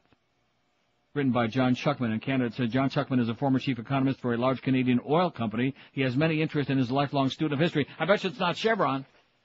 He wouldn't be picking on poor Condoleezza, that Chevron moolie. Good column. Thank you very much, John. Whoever you are. 11 past 10 at 560 WQAM. We got the Mad Dog coming up at 1 o'clock. That big game on Monday night, baby. You can feel, can't you smell the pressure? I hear Mad Dog yesterday rambling on about, well, you know, uh, uh, he's got that bad knee, uh, Brett Favre. I mean, they're so way ahead in their division. Kind of like suggesting they should sit him out, you know, on Monday nice. night. When in doubt, sit him out. That going to happen? You think? No. No chance. No chance. Going to be ugly, I think. Going to be really ugly. That high school quarterback, you know, Ray Lucas? Mm. He's going to be crapping his pants before the game. And then once the game starts, uh-oh, maybe better loan him Mo's bag. Hey, speaking of Mo, we all have different lifestyles, and therefore we need different things to make us uh, our health the best. Oleomed Mediterranean formulas are advanced combinations of pharmaceutical-grade olive oil combined with lots of other good things. They're in there. I don't suggest you bite open the capsule to check them out, but they're in there. Vitamins, minerals, herbals, take my word for it, other nutrients, scientifically designed to provide natural nutrition solutions to help you support specific health needs in your body. Look for Oleomed's three great new formulas. They have one to help you sleep, one for weight management, and of course CoQ10, which is great for your heart. All using the benefits of the purest, the bestest olive oil that you can find. Oleomed's an outstanding product. You can pick some up today, right now. Get in the car and head over to Publix, Eckerd's, or Walgreens. For more information, call Oleomed toll free at 1-866-Oleomed. That's 1-866-653-6633. You can also order Oleomed online at oleomedamerica.com. And if you visit your nearest Publix and buy an Oleomed product in Data Broward, wait till you hear this. You can receive a coupon for a free Larry Coker bobblehead doll while supplies last. Don't forget to visit their sampling pavilion at Sportstown every Sunday when the Dolphins be playing home games and pick up some free Oleomed samples and product information and improve your health by popping Oleomed in your puss pretty soon. Live and local. This is Sports Radio 560. QAQAM. Hey, you bastard. 1016 at 560 WQM. We got a call allegedly from New York. Hello. Good morning. Yes, sir. Neil God. Is, this isn't the ebullient guy, is it? Yeah, it is. Yeah, what I tell you? Oh, am I chronic now? Yes. Oh, That's okay. see, that's bad. Uh, listen, uh, for what it's worth, the CNN pollsters, the analysts, they're analyzing it, in the poll too. Uh, they have Jeb winning by an excess of five points. I don't know where they get that number from, but that's what they say. Yeah. In that case, you have my sympathies. Hey, by the way, Yes. I do an unbelievable Frank Pentangeli. Okay, good. Well, uh, call and do it sometime. What did I tell you? Did I tell you during the break? I said to Carlos, I said because I looked on the screen here, it said New York. I said that's either a crank setup call from New York with that uh, Fox crap that was going on, or it's the uh, ebullient guy. And it was the ebu- ebu- ebullient guy. I mean, he's he's a good guy, but boy, talk about chronic. I don't know. If I was in New York, it seems to me I'd have, you know, more productive things to be doing than like, uh, you know, sitting around calling the show, which we appreciate his loyalty and his uh, patronage, et cetera, and so on. And especially, at least he's like got an IQ larger than his thumb, which, uh, you know, because it's coming from New York, it's probably a better call than we get from down here. Which is not an indictment of the callers here, is it? Yes. Yes, yes, it is. Man. See, I, I don't think that, you know, it makes for great theater and great radio and great drama and it's exciting and screaming and yelling, but I don't think you understand what happened here yesterday, okay? I don't, I don't think a lot of you people understand what this is all about. What's going on in this country? That's why the country's in the shape that it is right now. There's too many stupid people out there living with blinders on. In la la land. Dumb, like Fredo. Not smart, like us. Dumb, like Fredo. Who'd say too many Hail Marys when they go fishing. Look what happened to him, huh? Bada bing. And by the way, Mad Dog, here's our Super Bowl ring. Rhymes with bada bing. So you stick to your, your team. Worry about them, okay? Don't worry about the goddamn Patriots. We got our problems, big problems, but you worry about your own team, okay? Suck pretty bad there against Buffalo, against a marginal girls team. Anyway, what happened here yesterday was a disgrace. People calling from the outside. Who the hell knows who put these assholes up to this, and it's not really important at this point although we have a pretty good idea. But nevertheless, calling here to give me a song and a dance about, well, how dare you be playing this? Why are you doing it? Because we feel like it, because it's my goddamn radio show. It's a radio station in Miami, Florida. And if you're looking to stir up a bunch of goddamn racial hate, last night, by the way, on a Hannity and uh, Coon show, whatever the hell that thing is, that's what they were talking about. So that, that's obviously the point that the right-wing fascist news network is trying to make. Oh, you black folks, don't buy into these liberals, man. And that, that's the whole thing with us that Andrew I'm a self-hating fag Sullivan column in his website. You can look it up if you want. That's what it's all about. Doesn't mention my name, but just makes reference to that white uh, talk host in Florida. Oh yeah, all these liberals, they're racist. Well, I got news for you, okay, all my dark friends out there. If you gotta choose between all those limousine liberals and these fascists, it's not much of a choice. Not much of a choice. Pathetic. Like they're fooling somebody. All this is an effort to keep them home on Tuesday because they're scared crapless that if a whole, an enormous bunch of dark folks vote on Tuesday. And it's going to be a lot more difficult to disenfranchise them this time than it was two years ago. That they could tilt the, uh, not just here in Florida, but other places as well. Like in South Carolina. And Arkansas. Places like that. Other Yahoo places. 5670560, pound 560 on the AT&T and Verizon wireless line. Give me a song. Give, give me a primer about Condoleezza and how bright she is. I don't care if she's got an IQ of 700, okay? She's the house Negro. That's what she is. Nothing more, nothing less. She's about as heavy as a goddamn, uh, feather. Talk about lightweight. She, to call her a lightweight will be an insult to every lightweight that's ever been born. The only thing lighter than her talents is her skin color, and that's the reason that she's in there. Oh, that's right. You didn't see them point after he after he retired from the Congress. You didn't see them uh, appoint J.C. Watt in there, did you? No, no way. We already had one Watt. He was a disaster. Let's put Bill Tanner in here. He can go around saying what? He can do that real good, and other things too. Here's a lady in plantation. Hello. Hi. Yes, ma'am. Hey, Neil, you're getting me all worked up here. Good. Um, I missed yesterday's show. I'm sorry, but Well, I'm I'm gonna glad. play. I'll play it again at uh, 10:30. Oh my God! Listen, uh, what do you think that woman would have thought about all the? um Why doesn't she go after Saturday Night Live for everything they did to Janet Reno? I mean, everybody and, thought and, that you know, was and funny. there's something. The best part of that to show you that at least Janet Reno had a sense of humor. She she went on. She went on the show. I know. She went on the show and played right along with it. I know. This is great.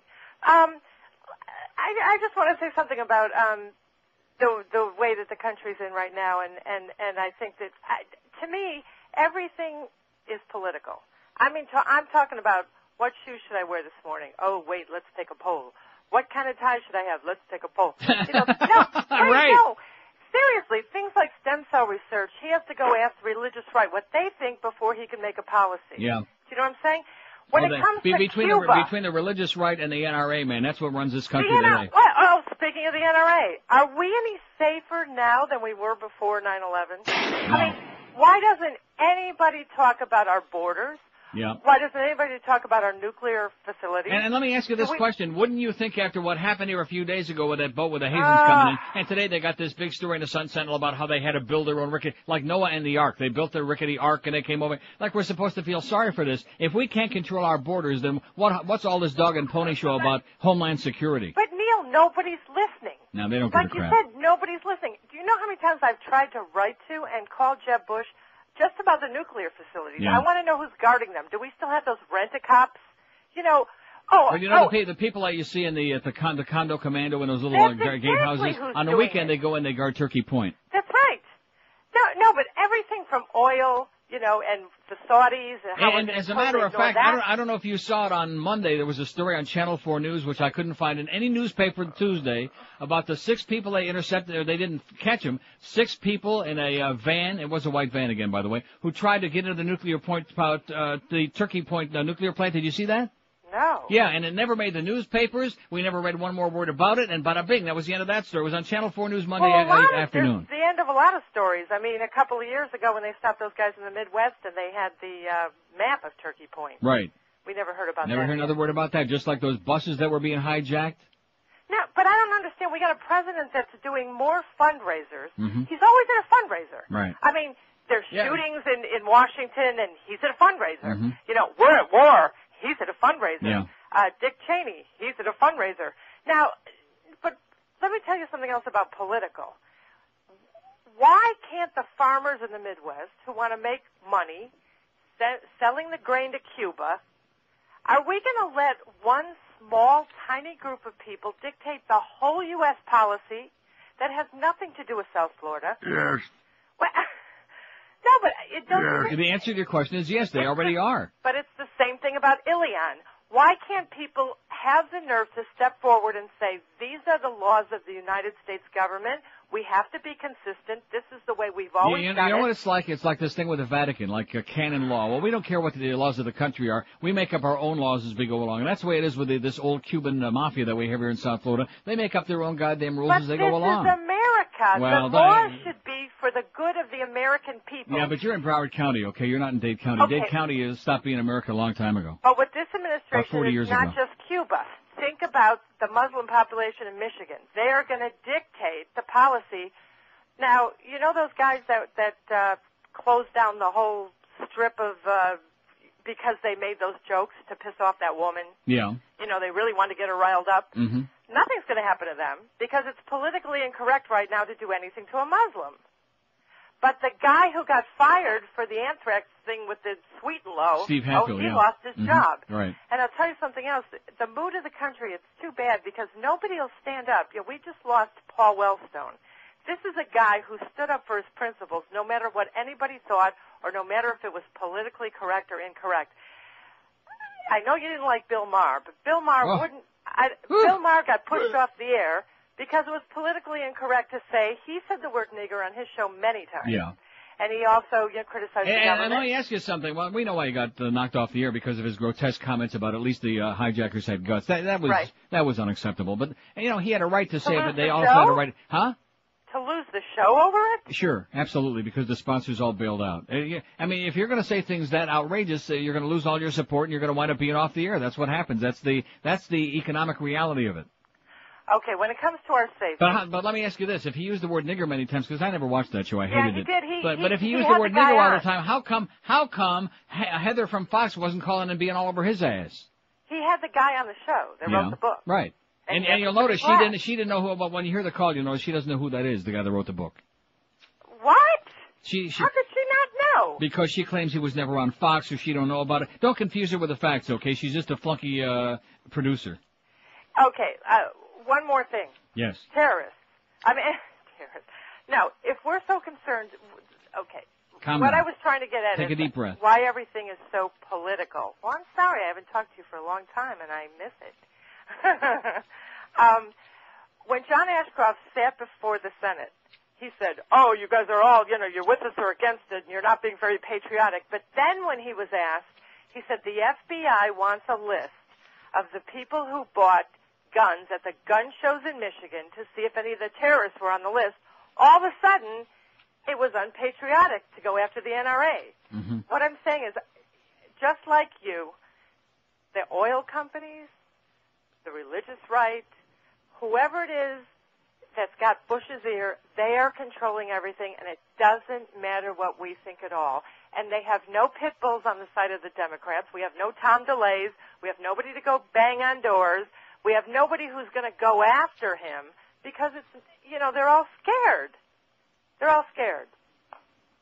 Vote about four times on Tuesday just Can to you think of anybody in the Democratic Party that stands up like Trent Lott and Tom DeLay with their fists in the air and tax everybody? No, but Dick Gephardt came along and he said we ought to like give uh, we ought to give amnesty to all these uh, 10 million people or whatever it is in the country. That's the kind of crap we get from the Democrats, so we're screwed. Have a great weekend. Just uh, forget about it. hide under the bed. okay. I'll, I'll see you. Bye bye. 1027 at 560. Crawl under the bed, okay? Because we want to let everybody in. Dick Gephardt. There's another guy. He thinks he's going to be president someday. Has he got a chance? No. No, thank goodness. I'd rather see Hillary in there than uh, Dick Gephardt, and I'd rather cut off both my ankles than uh, have Swillery in there. Oh, don't be making fun of Swillery now. My, and local. This is Sports Radio 560. QAQAM. Bastard. Oh, I don't know what it is about them, their whiny little voices or their big noses, those goofy hats, tiny little schmeckles. I don't know, they just, they just rub me the wrong way.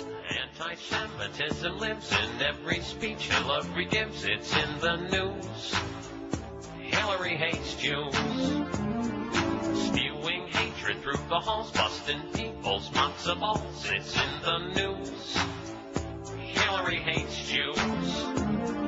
You won't catch her lighting a menorah. God, she must have a wonderful aura. When she speaks, I wanna cry. She could use a good rabbi. It's in the news. Oi! Hillary hates Jews. Uh, Heather from Fox News. Hi, Neil. How are you? I'm okay, I think. Good. Thanks for taking our call. We've been trying to reach you for the past couple days. Trying to reach me, you've called people that haven't been invented yet. You called dead relatives of mine. What's the uh, story, Heather? We're working on a story about uh, the CD you're promoting on your website. That's Yeah. called Kiss. Uh, I won't say it. N-word. Good morning. Heather, are you listening to the show? Uh, yes, I am. I've been listening for Did- the past couple of days. And just so you well, know, wait, we are wait a minute. Did you us. did you hear me go through the entire uh, rationale of what that that that song had nothing to do with Condoleezza Rice? Uh huh. What about the song Condoleezza, Condoleezza? That has that well, that's obviously about Condoleezza. Uh huh. Yes, And that's I about just Kate want to know why honey. you're why you're playing this on your show. No, I see. I'd like to know why. This is really interesting. Why are you calling me, asking me why I should play this? We make we have song parodies about Bill Clinton, dozens of them. Nobody ever complained about that. We have song parodies about Al Gore, dozens of them. Nobody ever complained about those. Well, about all there's the. some uh, African American folks up in here in New York who are pretty offended by it. And, Well, yeah, well, wait a minute. Let me say this to you, Karen. We're not in New York. Uh-huh. Okay, we don't broadcast in New York. We're on WQM in Miami. Well- and, and the fact of the matter is that unless, except for people like you and the people at uh, that right-wing newsmax.com who want to make a big simus about this, if it weren't for that, they wouldn't even be aware that we exist. Neil, Okay. there's some uh, this organization that's uh, offended by it is a national organization. The But but the fact does the fact of the matter is we've been playing these songs for many many many months. We've never had one single complaint. And when interlopers like you from outside, like from Fox News or from some right wing website, want to tell us what I mean, for you to ask me how come you're playing that because we want to play it. Okay, It's- Neil, it- but what, what's the value comedy. in it? What is It's- it? What is it? What does it do for you? what It's does it called do for it's called comedy. That's what it's called. You have a sense of humor? Do you think it's funny to call uh, to call Condoleezza Rice? In in in, You a, think it's not in, in addition in addition well Harry Belafonte called her the house negro, okay, so we'll call her whatever we want. But this is a little bit different. I mean, No, he no, was it's not he the- was taking issue with It's not the least bit different. She is the house negro. See, you people at Fox may not understand this. Not everybody in the world is a right winger like Rupert Murdoch. There actually are those of us who are progressive or moderate, liberal, whatever we are, who also have the right to speak, to express whatever the hell we want. So, so you, w- repeat again what you just said for me there. You think she is a what? She's the house negro. Uh huh. And Yeah. you don't find Uh-huh. anything wrong with that. Uh-huh. Well, what, do- what do you mean wrong with that? It's a fact. That's my opinion. Am I entitled to my opinion? Uh-huh. You're, you're certainly entitled to your opinion, and that's but you ba- know, and, that, and that's some basic, folks are wondering and that's why you guys- basically if- that's if you- basically what Harry Belafonte said as well. And it's obvious. uh, This is why nobody returned your calls uh, Heather, or whatever your name is, Uh-huh. because we knew that you were trying to stir up a bunch of crap and take something out of context. When I asked you, I- did, I don't think did, there's anything being did taken you, out of context Did you here. Listen? Did you listen? See, we're not we're not. have been playing, We're not doing the Bill O'Reilly show, okay? It's funny. my show, and I'm not going to have you scream over me or try to out-talk me, okay? It's not going to work. Okay, uh, you know, I, I asked you in the beginning of the conversation, which I was very calm, and I asked you, did you hear me explain the origin of that song, the restitution song? The fact of the matter is, and I don't I'm sure he must have been on your channel, Randall Kennedy, the black uh, author who wrote the book Nigger, The Strange Career of a Troublesome Word. not that I'm aware of. Well, he was certainly on CNN. He was on MSNBC. Maybe he wasn't on Fox because he wasn't. I, I don't know. Maybe you just uh, didn't weren't aware of it. Oh, You know, I've got a question for Are, you. are You you are you aware of that book, you portray yourself to be this sort of liberal voice, but yet you're ma'am? I'm, I don't portray. I don't put labels on me. I'm, I'm for example. Okay, when what do you- what would when you call comes to- yourself then, when- politi- I, I call myself a human being. You see, you people on Fox, it's this old liberal and a conservative. That stuff went out with high button shoes. Okay, You know, hold on a second. I'm a Here's my thinking, living, You and breathing human being. be- In addition, in addition to which, why do I have to, in Miami, Florida, answer to some assholes in New York on Fox News how I do my show? What is it your business? There are a lot of people who care, and there are people in Miami They who care, care- about this too. Who- who are they? Well, you're calling Who uh, are they? Name me one person in Miami who's concerned about it. folks we know down there certainly, and I Na- name me one. too. Look, Name me one. it's offensive to Name lie about me a woman one. who Name is me one. of a very Honestly, high I don't care. I don't care what you say. we don't. her we don't like Condoleezza. Okay. Have a nice day. Okay. We're calling her whatever we feel like calling her. She's a public goddamn figure. So the And beast blow is it in out your right and wing ass, and you and Bill. And by the way, O'Reilly didn't make the numbers. Zero. Just calm down, okay? Two meals uh, in stereo. Anyway, uh, Beast didn't lose any weight this week. I got news for you. You better not let that happen again next week, because if it does, then Troy's going to cut off your water and your food too, and your little black sack.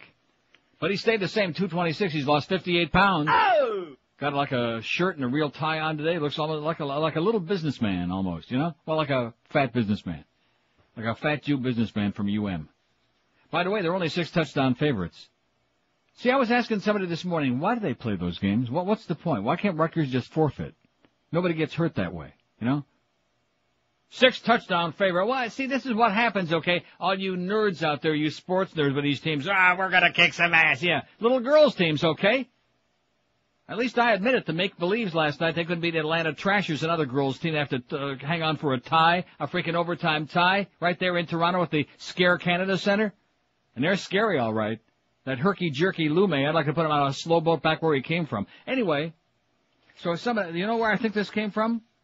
I don't know who faxed me this, this thing, that Heather Nauert, that's her name, little Heather, that we just heard again. We'll play it again later, about 10, 12 times. It's long, kill some good time. Heather N-A-U-E-R-T, Nauert, Nauert, joined the Fox News Channel as a New York-based correspondent in 2001 after receiving her master's degree in journalism from Columbia University. Well, excuse me, Heather. I'm impressed. Not. In 1998, she became a Washington, D.C. based Fox News contributor commenting on politics and domestic policy. During that time, she worked as a government affairs cons- consultant representing corporations and trade groups before Congress. Her work focused on health care and social security issues. Heather's media work started in Washington in 1992 as a host and producer for former WFTY TV's weekly program Young Country. Later, she was a business reporter for First Business, a syndicated business news show. This must have come from them because it was followed up by a bio on Condoleezza. Ah. So evidently she's she's got her eye on Condoleezza. Maybe she'd like to do Condoleezza. Maybe that's what it is. Because she takes it very personal and uptight, so to speak. Pardon that expression. That we had the gall to be calling Condoleezza all of these things. You know what I'm saying? We're going to continue doing the show the way we've always done the show, Heather. We're in Miami. And I'll tell you, New York radio must be really, really bad for you to have to be listening to a goddamn show on the internet here in Miami. In fact, ask the, uh, brilliant guy. He'll probably agree with you. That once Howard goes off in the morning, and believe me, I don't even want to go into that. You know what I'm saying? You know old Howard, don't you? The mad dog or the angry puppy? Wrong Howard. A fishy family triangle. Here's a News Journal editorial from Daytona Beach yesterday. Neil Bush igniting profits in the FCAT market. Neil Bush! It's a triangle of back-scratching geometry only the first family could pull off. President Bush signs into law a federal requirement that forces states to rely on standardized testing to measure school achievement.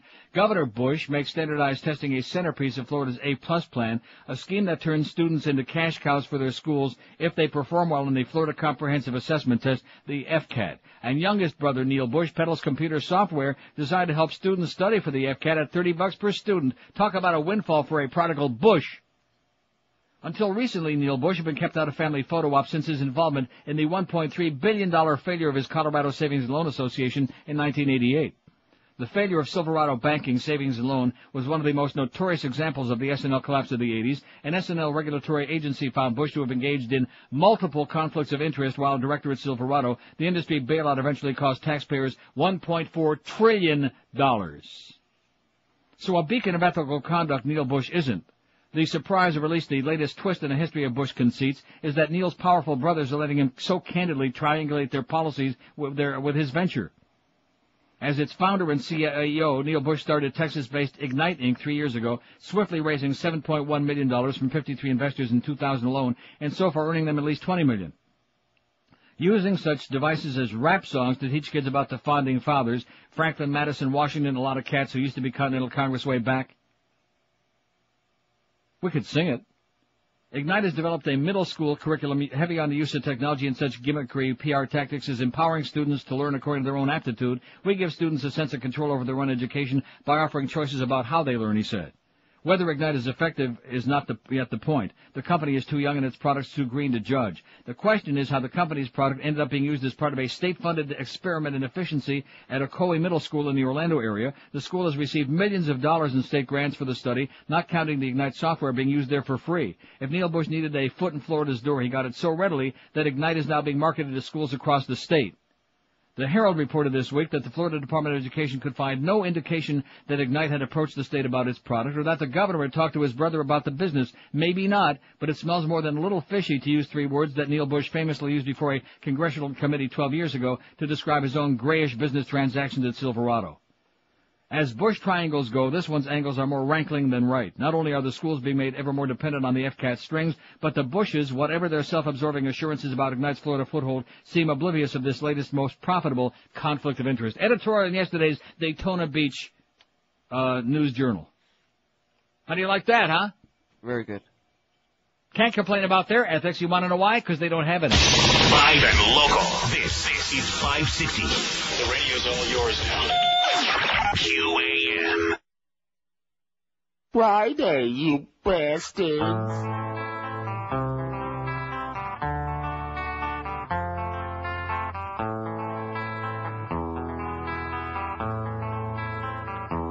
Gay.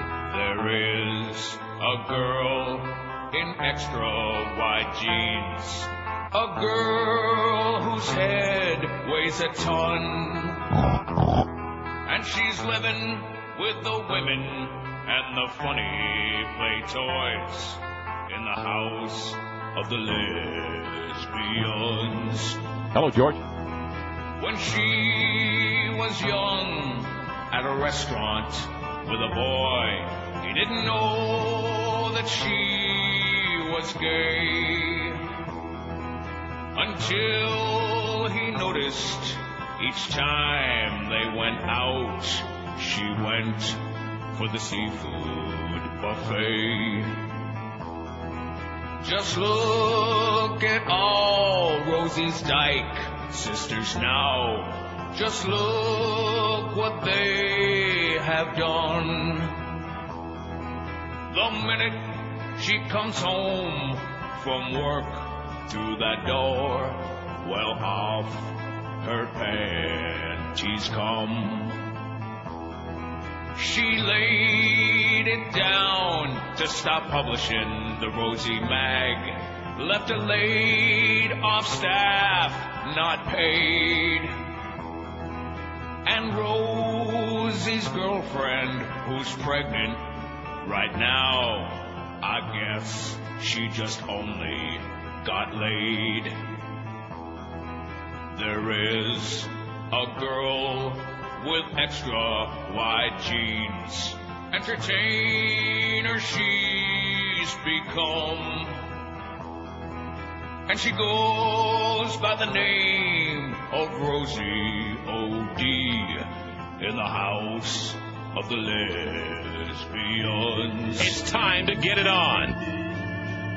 1047 at 560 WQM. Happy Friday, too. We're having another wonderful day here today. Thanks for your resume, uh, Heather. We have no openings at the moment, though. Here's the fax that says, I just want to thank you for such a wonderful show yesterday. It took some real cajones for that lady to call discuss her problem on the air. Condoleezza is a public figure and therefore open to ridicule, just as any public figure is. I hope you ditch the callers today. Oh no. I have a feeling we're going to be hearing a lot of faggot maricon, and after a masterpiece of a show like yesterday's, it would just be uh, leave a bad taste in your intelligent listeners' mouths, all three of us.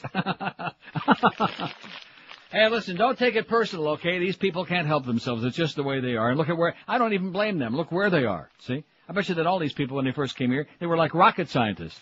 And now they've been here long enough, their brains fry in the sun, they're surrounded by a bunch of, uh, like that, and it rubs off. So Mo is losing it, huh? Oh, I'm sorry. Here's a fax from Big L that says, that's the scuttlebutt around the building is that Mo's right on edge. So don't be picking on my good buddy Mo, okay? We better start bonding with him. Cause I don't want to see him like go off the, uh, deep end. Although he did leave his depends like right outside the door this morning, forgot to take him. Or was that just his bag? Well, that day that his bag busted open, that was, that was unbelievable. That- and then he made the beast clean it up. That was the worst part. ah! Can't stand it. Oh my God. If there's a butt, I smell Get it. out of here, okay, Mo? Go home, have a nice weekend, relax for that big game on uh, Monday. Don't freeze your uh, don't freeze your tuchus off Monday night either. There, it's gonna be colder than hell in Green Bay, you know. So Ricky Williams is what?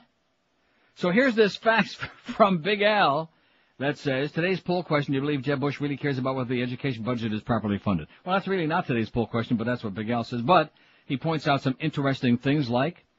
Bush GOP uh, economic policies fail Florida families. Do friends and family still need a good reason to vote Democratic November 5? Here's how Republican economic policies avert Florida.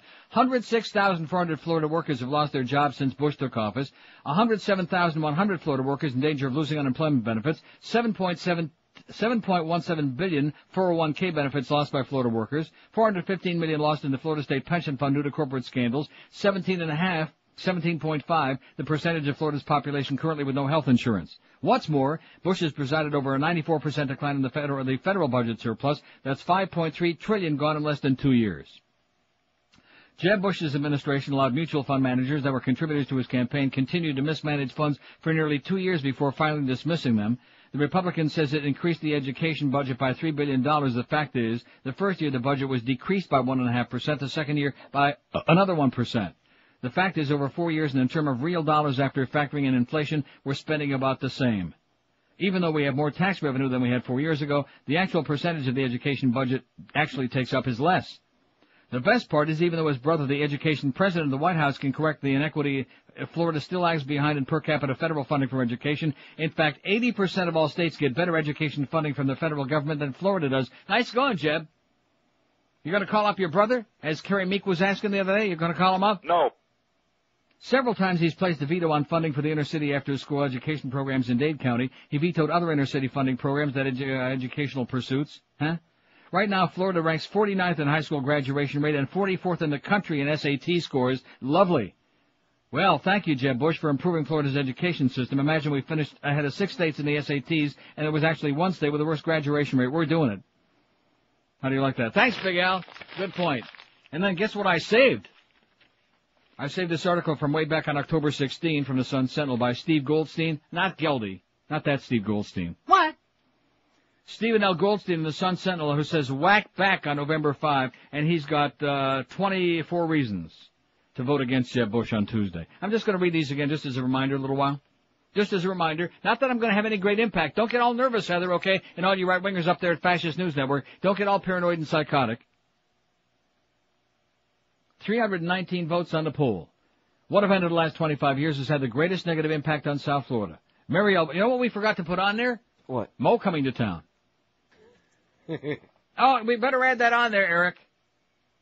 That needs to be the sixth choice. Kind of even it out. We don't have enough choices on there. I don't like the polls where we have limited choices. Mo Howard arrives in uh, Miami. Don't you think that merits being on there? Oh, that's right. Don't say anything. Don't say anything. He won't bond with you in the hall if you get on his bad side. Now, what was so funny about that bag breaking? I thought it was disgusting myself. Here's a Hialeah. Hello. Uh, Neil. Yes, sir. Um, you mentioned in the past Chronic. Oh. that we've stolen. the- Oh. You've had all your liberal friends talk. Can I say something? I beg your pardon? You've had all your liberal friends call up and talk. Can I say My something? liberal friends? Yes. You're That's- chronic. That's like that screeching woman. It's got with- nothing to do with what you're going to say. You're just chronic. Well, you've I always, can't handle your voice. You make me. You've got a creepy voice. Can't. No, doesn't he have a creepy voice? Yeah, he does. Ooh, my skin is crawling. I feel like I got like uh, red ants. Maybe it was the drugs that Petey Lenny left in here. It's got nothing to do with what you want to say. It's just you. You know, I mean, have somebody else call and say it. Write it down. Five. And by the way, how long did I leave that bitch on here yesterday? That was giving me a bunch of crap. She was on there for like five minutes. So don't give me this garbage about I only let people uh, talk who agree. That's bullcrap. I just don't like chronics. I don't want no chronics. Just because we're back to taking calls again, and one thing I'm guarding against is chronics, like that asshole Dennis that called in yesterday. I had to dump him for his intemperate remark. Get some mental help, okay, Dennis? Before you hang out with you. And Dennis had a great time last night. He went out trick and treating with his boyfriend for Halloweeny. He said he liked the trick part. Here's uh, Miami. Hello. Mr. Neil, Napoli. Hey, Neil, you know what I think we, we should do with all these Haitians? Send them to... Oh. Too many greasers here today, man. Here's Palm Beach. Hello. Hello, Neil. Yes, sir. Could you uh, answer a question? Who was the House Negro for Clinton? Did he have any blacks around him besides uh, Miss mm, uh, Betty Currie? He was surrounded by blacks. Bill Uh, Clinton. name in one. Name in one he fact, had where, in his where- let me ask you this: Where does Bill Clinton live now? Where's his office? That's not my question. Where is his office? Did he have he any had more, sir, Negroes? he had more blacks and minorities in his administration than anybody else in uh, history. I'm not going to sit here and wait and try to give you an education, okay? What the hell? And by the way, Bill Clinton ain't on the ballot, and neither is uh, George W. Where see, always try to divert, divert, deflect. You know, you see, this one was worse. Uh, not true. More minorities than any president in history served in Clinton's two uh, terms. It's not a debatable fact. And you can scream and you can holler and you can get all bent out of shape. You're one of those assholes you can't. uh, Don't confuse this guy with the facts, okay? Because they're very dangerous. The facts are very dangerous. Five six seven oh five sixty pound five sixty on the AT and T and Verizon wireless line. Here's South Miami. Hello. Hey, good morning, Neil. Yes, sir. I gotta follow that trifecta, huh? Mhm. Jesus Christ. Should be easy. anyway, man, first time I heard that new bit you have on the, uh, with uh, Mo and uh, Oronde and uh, Geldy. Yeah. I swear to God, I almost crashed my new truck into a wall. I'll tell you, I played it for several people here yesterday after the show. I hadn't heard it. yet. I thought Hank was going to have a stroke I because he was so Hank red in the face. gets a big kick out of those. He, he loves them. Quietly, but, you know. No, not quietly. He was laughing so loud you could hear it next door. Anyway, real quick, Neil, I did my good deed for the uh, vote on um, on Tuesday. Yeah. Went to my mom's house. He has four elderly neighbors that mail in their ballots. Of course, being Cuban, guess who they will want to vote for? Mm. But guess who filled in the uh, the paper? All right. They don't know Excellent. the difference. Excellent. Nice You know what. I mean? Yeah. So there, we got four on our side, man. Yeah, see, we can do it too. Payback is a bitch. I, I could get in trouble for that, right? Hey, we're tracing the call right now. We're Listen, gonna, we're gonna turn you over to Heather at the Fascist News Network. She said, you know what she reminds me of? Remember that lady that called you uh, a, a while ago uh, talking about Aruca, and she said, I don't know. Oh, Francisco Aruca. Remember that bitch? Yeah. It sounds like her. Maybe it is the same Now person. wait a minute. If you hang on just one second, she's uh, where the hell is she? She's I don't know. I don't know. I don't know. I don't know. Hey, Neil, real quick, I know you gotta go. Mandich is a bomb. He called Cefalo a wuss on live TV the other night. I almost pissed my pants. boy. Yeah, he is. He is a in, panic, bro. in more ways than one. Okay, All have right, a you great take day, care, man. See ya. He called Jimmy Cefalo a pussy. Wow. I don't know. How do you like that? I'm not going to go into the Jimmy Syphilis stuff, okay? Because Jimmy's a pretty good guy, but he's uh, he's uh. Here's uh, West Palm Beach. Hello. Yeah, Neil, that was that was awesome. This conversation with Heather. She's uh, she's she's a hottie. I've seen her on the on the on the network there. Now, now let me ask you something. Has, has she got a has she got a show? I thought she was a producer. She's got her own show. No, she doesn't have her own show. She's she's one of their reporters. She used to appear.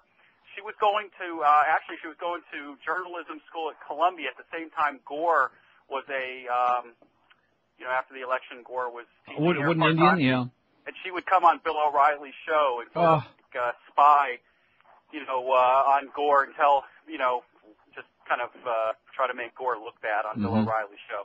But she's, you know, she's she's like probably about 27, 28, very hot blonde, you know, Huh. Typical Fox News. Now uh, did she wear that heavy uh, uh that orange uh, pancake makeup?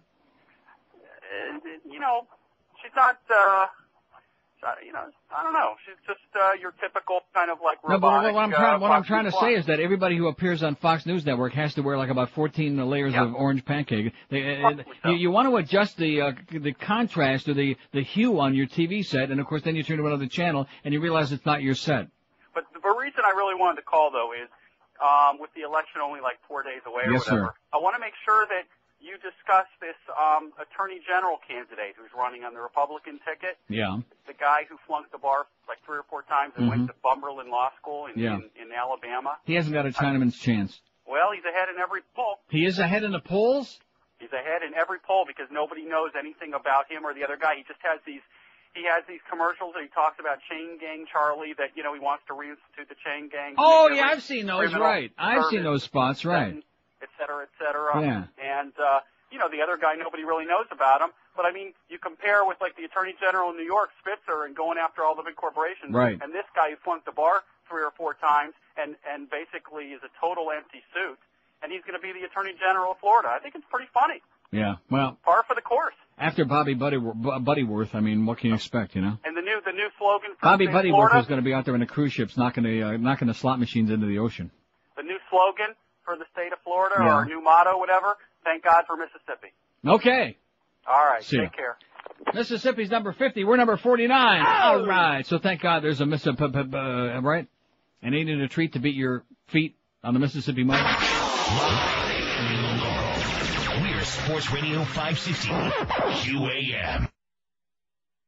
The Banana Republic, baby. Only in Miami. Now, Noelle Bush, daughter of Florida Governor Jeb Bush, records her first page from her prison audio diary. I cannot believe that pompous, egotistical judge actually sentenced me to jail. Me to jail? Hello? Do you see my last name on the documents? Bush. By the time my dad Jeb gets done with him, he won't be able to scratch his danglers without the heat coming down on him. He won't even be able to get an internship with Bird, the black bailiff from Judge Judy. I wonder if the prison pharmacy will accept my script for Xanax. They better. Maybe it wasn't such a good idea to wedge all that crack in my Manolo Blahniks. I should have stowed the junk in the trunk, if you know what I mean. I got 10 days in jail, and my booze hound cousin Jen escapes? My father's got no juice. He can rig an election, but he can't keep his own flesh and blood out of jail? Oh, did I say that? I didn't mean that. Anyway, I gotta go. We got a big game of hide the carrot going in the rec room. Did I say that? I didn't mean that. 1102 at 560 WQAM. In fact, one of the first appointees, and of course then she got railroaded and uh, knocked out of there by the right wingers. Remember, uh, Jocelyn, Joycelyn Elders. That's right. First, she was the, uh, head of the HHS. Poor Joycelyn Jocelyn. She was a little bit too radical though for the right wing and they like hounded her ass out, her black ass out. So don't give me the song and dance about, well, who did Clinton, who was his house Negro? Yeah, right. And who was this buddy that was always playing golf with, making those uh, sexist comments about? Real dark black guy. Boy, isn't that something? I can't remember his name. Yeah, that, and, and they asked him, well, what do you guys talk about when you, and he said, uh, you know, we don't talk about world affairs. All we talk about is C. But that was his name. I can't believe I can't remember him. Real dark guy. Anyway, somebody will call in. 340, uh, what is it? Oh, Mo's already got two votes. He just went on there, 352 votes. What event of the last 25 years had the greatest negative impact on South Florida? Mo Howard comes to town too. Liberty City riots 14. Elian 22. Small potatoes. Hurricane Andrew 33. The 2000 hanging Chad election 97. And the Mariel Boat Lift is uh, winning big time 184. What do you, what do you laugh? What are you smirking about? I find it funny that my people have come over here and caused such ruckus. You're a Marielito? Well, no. So, so why is it your people? Huh? Cuban people No, no, no, no, no, no. Don't say your people, okay? Don't. And a lot of your people would be very upset to have you say that. Don't lump them in with the Marielito uh, rivals because a lot of those people, as I said yesterday, were some of the worst hardened criminals from uh, Castro's prisons and nut houses. The worst of my peoples. Oh, the worst, the worst of your people's bees. Okay, don't forget to join uh, Mike Hard's Lemonade. Mike's Hard's Lemonade. See, now I'm saying it on everything. Oh, and you know whose wife was on last night on one of the talking heads, I think, with Connie Chink? Who? Uh, the Moosey Man. The white, uh, pudgy blonde. Boy, she's a foul-mouthed bitch, you know what? What, they had to like bleep her and stuff? No, or- but I mean, she's, she's, uh, uh, she didn't say anything over the line, but pretty close to it. I mean, she's uh, got a big mouth. Big, blonde, buxom, fat. Join Mark's Hard Lemonade and Joe Costello days from 3 to 5 at the uh, Publix located on Northwest 128th Street, Michigan Boulevard, North Miami. Stop by to win crappy QM prizes, but you can register to win tickets to the big race sponsored by, um, on November uh, 16. No, we can't say that either because we don't want to get the people at Mike's Hard Lemonade upset. We don't want to say, I'll just go wiser, okay? Or is it better to go Bud five sixty. San Francisco. This couldn't be real. Hello. Good morning, Neil. How Yeah, are you? okay. Or good afternoon in your part of the world. I Good think evening. Clint, Clinton's black friend was Jordan somebody, and don't forget Donna Shalala, who told everybody to give it a tug instead of having premarital sex. No, that was uh, Joycelyn Elders. Oh, that okay, okay. Donna Shalala is very white, and she's at the U of M. Oh. And a dyke. But at any rate, now, uh, Jordan, uh, Vernon Jordan. Thank you. I mixed up my cronies there. It was either Michael Jordan or Vernon Jordan. One of them, number Yeah. 23. Or, Right. Are you aware that Condoleezza Rice has her own oil tanker named after her? It wouldn't surprise me. Um, she was a big Chevron board of directors. Right, Chevron I know that. That's why I don't buy gas at Chevron ever. big company out here, um, also with Stanford, and she's kind of the poster child for hitting the glass ceiling. Uh, you couldn't want more as a Republican to be on the board of directors of Chevron and to be a plant in the White House for an Mhm. oil company. Right. Um, I want to tell But you thank. God that the president and vice president don't have those oil connections. Thank God for that. Oh no, they're clean. They it's no conflict of interest there. Right. Um, they're all for hydrogen and alternative fuel. Absolutely. Um, I want to tell you the double standard about uh, the N word. I get a lot of emails from younger people that I work with, and you know how they start M apostrophe N I G G A, Nigga. manigga. Oh, yeah, my nigga, yeah. It's a term of endearment. hmm I mean, I, myself, I'm a heterosexual Christ killer, so I don't know why they're calling me their nigga, but I guess I'm happy to be held in a little higher esteem. Also, you know that we're so Asian here in San Francisco, over 40%. Yeah. All the little Chinese kids, when they see a white kid go by at the bus stop, Yeah. hey, vanilla bitch. Really? Oh, yeah. and Vanilla what do they bitch? call I him that's a, you know something? That's the first time I ever heard that in my life. Vanilla bitch? Yeah. Well, you know, trends start in California and go east. It hasn't arrived in Toronto yet because we got a zillion uh, Asian people You up there. got a lot of flavor of bitches in Toronto. Oh, yeah. We we we're long on vanilla bitches here, but we're in the minority. I'll be damned. And so what the white bitch. kid turns around and calls the Chinese kid, "Hey, you chigga," which is short for Chinese nigga. So we got vanilla bitches and chiggas here All on the. West Coast, and uh, the war will start soon. And in closing, Neil, we all love you. And hey, Heather, gargle me, babe. okay. See you, my man. See ya. Great call from San Francisco. How do you like that? Yeah, Heather, they're not too fond of you, okay, your routine that you put on here yesterday. First of all, that lying routine about, well, we want to do a story about Neil's great ratings, now he's dominated that market all these years. Uh, giving that to, uh, who are you talking to, Dave Hagan? She said that to? Don't be calling here lying to our producers, okay, to try to get my home phone number and bug me, okay? And the good news is I only had three, uh, solicitation calls yesterday. Getting so I- better. I, so I didn't try the star, uh, 69 or whatever it is. Now what is star 69 besides what you obviously have in mind? What is, what is that? Star 69 uh, re- lets your phone call back the last number that called you. But what's the one that's like the call block?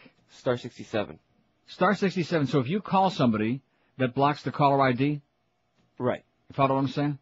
Star, you're sure of that? Yeah. Because there are times I've wanted to do that. You know, could use the star 67, but I didn't want to like have them see my uh, phone number on the call, caller ID. Right. You star 67, wait for the dial tone, and then dial. In fact, that'd be a great way for me to. And what I'm going to do this weekend, I think, because it's so boring here, I'm just going to sit, home and make crank. Call- no, I've taken them for 26 years here. I'm going to make crank calls all weekend. I'm just going to go up and down the phone book. Little payback. Yeah, star 67. And, and in fact, I'm going to call uh, that guy in Hialeah before with that creepy voice. Oh, my my skin is still crawling from him. He he could be a very nice guy. He's been listening for a long time, but your voice, it just oh, woo. I'm serious. I got the chills just thinking about him. Here's a lady from Boca. Hello.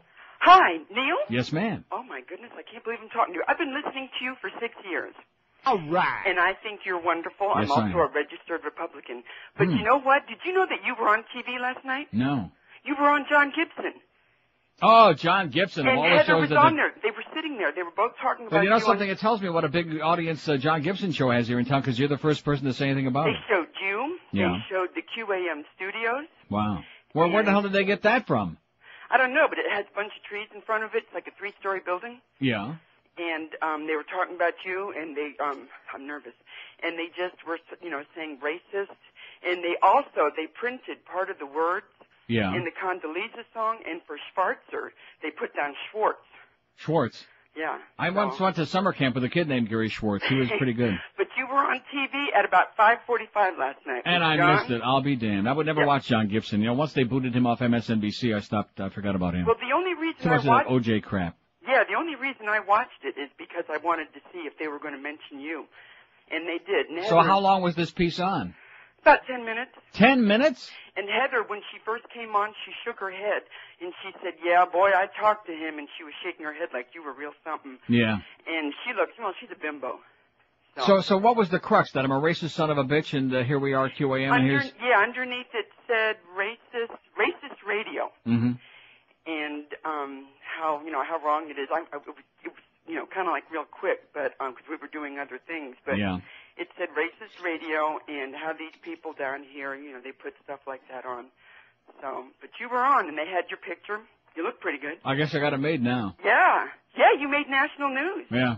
I hope my mother and other people around the country were I'll be knocking that John Gibson off in no time at all. I'll be on there. Hey, you're much cuter than he is. that ain't saying much. You're a lot cuter. And a lot cuter than Alan Colmes, I'll tell you that. oh my God, he's ugly. Or Shepard Smith with that Martian moon face. He looks like a clown. He is. He's bizarre. You know what? They all do wear lip gloss. Oh, I know that. I'm not just making that up. They, No, they look wear enough pancake makeup to uh, drown an elephant.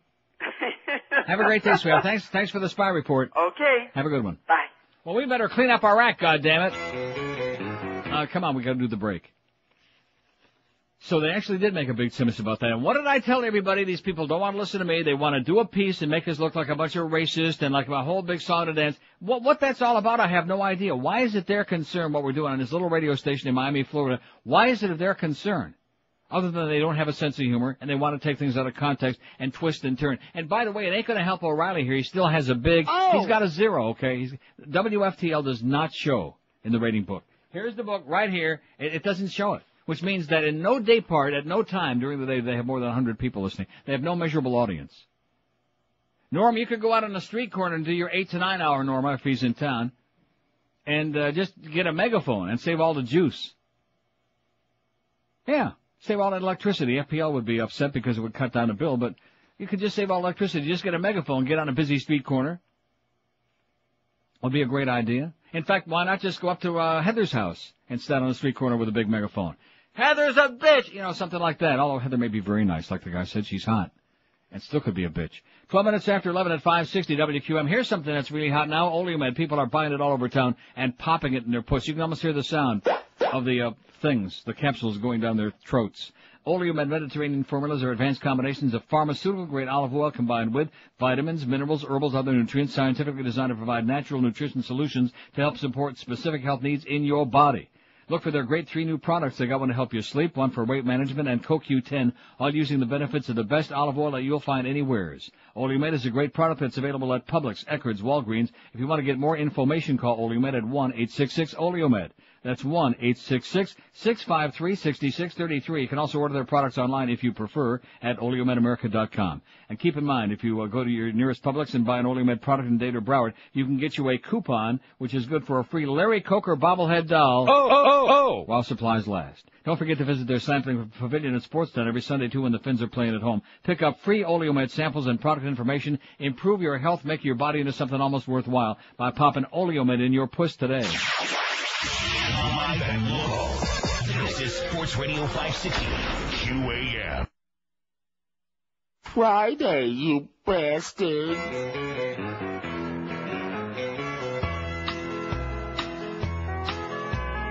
They want us to find a way to reimburse them for back pay from 200 years ago when they were slaves. Well, I only have a mobile home, a pit bull and a pinch of skull. So if you wanna ask me how, here's what I gotta say.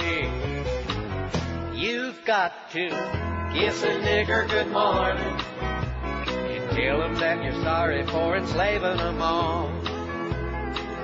Kiss a nigger good morning, and that's for everybody who is dead and gone. If I was born in 1802, owning slaves ain't something I do. No, no, but what for dead people did to you, I have to take the blame. Would you settle for an old Pontiac No. with a can of smelly cherry and back? Instead of 40 acres and a mule, I have a better way.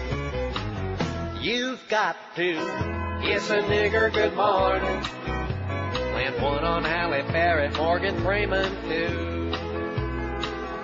It's a nigger good morning, Okay. and that's your restitution for enslaving you. It's a nigger good morning, Are you? and tell 'em that you're sorry for enslaving enslaving 'em all.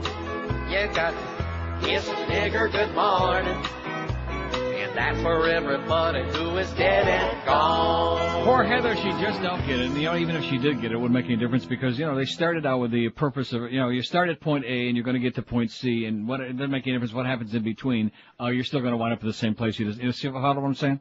So the purpose of doing the story was to make us look like a bunch of uh, racist Klansmen, hoodwear, and whatever. Thanks for the publicity, by the way, Heather. We can use it.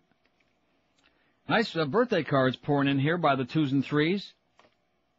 Look at this one. It's got all these uh, things in here. This uh, lady, Michelle's been listening since 1978. How do you like that? So thanks for all the birthday cards. Of course, there's no money in any of them, but you don't need any money. You're making all that money. That's what you think. You guys don't know Mitch Hirsch. 383 votes on the poll. How's Mo doing? He's starting to move up a little bit. What event of the last 25 years has had the greatest negative impact on South Florida? Mo Howard comes to town, nine. Started out very late on this poll, but he's starting to move up a little bit. He's up to nine. In fact, it just changed it again. One moment, please. Oh, 12. Hoo-hoo-hoo. Making a late run. One of those strong closers in the stretch. Liberty City Riots, 15. Elian, 25. Hurricane Andrew, 38. I would have thought Hurricane Andrew would have had more votes. It's too long ago. People are already forgetting. We just got through with the 10th anniversary. We just had like 80 billion uh, hours of coverage on it. That's true. And it sure changed the uh, face of this town in so many ways. None of them good. Elian 25, Hurricane Andrew 38. The 2000 hanging Chad election 107. And the Mariel boat lift 197. Incredible. 50% said the Mariel boat lift was a, and it was. You could drive, at, at that time I was working at W Snooze back in 80, down on Ludlam and Dixie. And as you drove home up Dixie Highway, depending on where you lived, but in my case I guess it was up the old Hershey Highway, the Ho Chi Minh Trail is what you used to call it. Uh, you know, there would be like, here's a car over here, there's a dead body, and uh, this one, uh, I, I'm, I'm not exaggerating. There were a couple of nights I drove home and there were like cars off to the side of the road after there was like, uh, some incidents, you know? And then the uh, convenience store that was right across from the uh, old beauty parlor that our station was located in, formerly a beauty parlor. We didn't have any beauties working in there though. Oh, I think that place could have been uglier than here. But anyway, uh, that place was getting held up like every, well, at least once a week after the Mariel boat lift. The courageous Fleet, Flotilla. See, I hate to break the news to you boys and girls. It's got nothing to do with bigotry. That's not the way to do uh, immigration policy, okay? We learned the hard way. Well, we didn't learn the hard way. And this thing that went on with the Haitians, you know, as much as I realize that they're being discriminated against, and it's a grotesque racist policy, which it is, and that this secret George W. Bush policy that they sneaked through there this last December, which they don't want to talk about or tell anybody where it came from, that says that they got special treatment. See, the Cubans got special treatment on one side. They got special good treatment, the wet foot, dry foot. You can get here, you can stay, regardless of anything. And also the Chinese. Of course, it's a long swim, you know, for the Chinese. But, uh, and the Haitians, we got a special deal for you, but it's on the other side of the deal, so you get the raw deal. We're gonna stick you in some detention camp as long as we feel like it, and then maybe if we're, if you look real nice at us and give us some free, uh, tightly sewn baseballs, then maybe we'll give you a political asylum here and then ship your ass back. Yeah, that's the way it works. But you gotta get control of it, and I'll say it again, the fact that this community isn't up in arms, that people aren't, like, jumping off of tall buildings over the inability of the Coast Guard. The ship came in to, uh, ship, the boat, the rickety boat, comes in two miles from the goddamn Coast Guard. Man. What is that all about? And all depends on who you believe. If they were tracing them all the way and they let them get this close, and see, the rationale was, oh, well, we were afraid if we uh, interdicted them and stopped them, we'd have a lot of drownings at sea. Right. So Well- supposedly some incident that happened before that Right. boat capsized. That's right. And Well- blah, blah, blah. So is that the new policy? In other words, the message that goes out, if you can get close enough to come in here, then we'll just, we'll let you come because we don't want you to drown? That's a beautiful message to send out. And then if the other stories are true, that, uh, they caught him off guard, and they just slipped through, that says a hell of a thing about Homeland Security. Makes me want to go home and just hump my Tom Ridge blow, uh, blow-up doll. Hump something. Look at that, Mo's up to 13 votes already. I'm confident he's going to start moving up in the pack. I could be wrong about that. Never sell him short. Except with that bag. Oh. Here's, uh, Fort Myers. Hello. Hey. Neil. Long time no talk. How you doing? I really uh, miss you. I live on Sanibel, so the only way I can get you is if I stand on the tallest building with a coat hanger. Good idea. Hey, that company really screwed us, the Beasleys, by taking us off that 770. You know, we had at least 20, 30 people listening over there. You were definitely the the only show that ever had any listeners consistently. That I'm sure about. Yeah. Hey, the reason why I called is, you know, like I said, I don't get to listen very often, but you, you've talked about the debates I can imagine up in Central Florida. Yeah. I, I- something really struck me as funny is when uh, uh, at the very end when Russert asked them what they most admire about each other, Mm-hmm.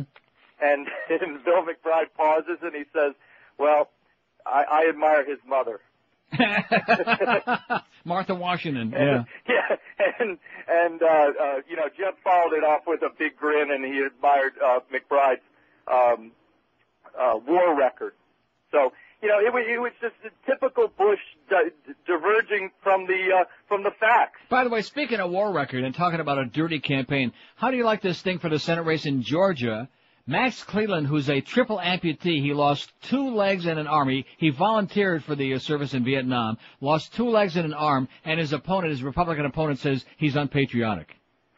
yeah. How do you like that? Well, what's that make me then? See, if he really would have been patriotic, he'd lost the other arm too. Right. What does it make you? Exactly. Comunista, baby. Comunista. Okay. Have a great day. Well, I miss you. Bye. See ya. There's a communist. Here's a card from uh, Richard McVeigh, our old buddy from Fl- uh, Flamingo Records. I sure hope he's going to send me my planner for 2003. Do you know how important those things are to me? The what? The planner?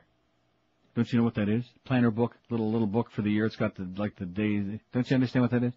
Well, in your case, a guy that loses a hundred dollar bill after uh, not after striking out at Treasure Island. Oh, the planner. The planner, the planner. What I did thought you? it was like a planter. my planter, yeah. Uh-huh. Maybe you're a gardener. My 2003 planner, I need that badly, and Richard McVeigh always sends me one every year. So come on back, Dick. But he evidently is in Amsterdam. Figures he's a pervert. And here's a picture of the beautiful Sea Palace Chinese restaurant. And it's, um, I can't think of the name of that road, but like, uh, if you, if you're driving out to the airport in a cab or in a car, or in a, uh, pop, a pop-up, uh, toaster, uh, you go by this thing. I've seen it a million times. Of course, the way to go to the airport is really on the train from Central Station. Just a little, uh, it only took me like 10 years to figure that out.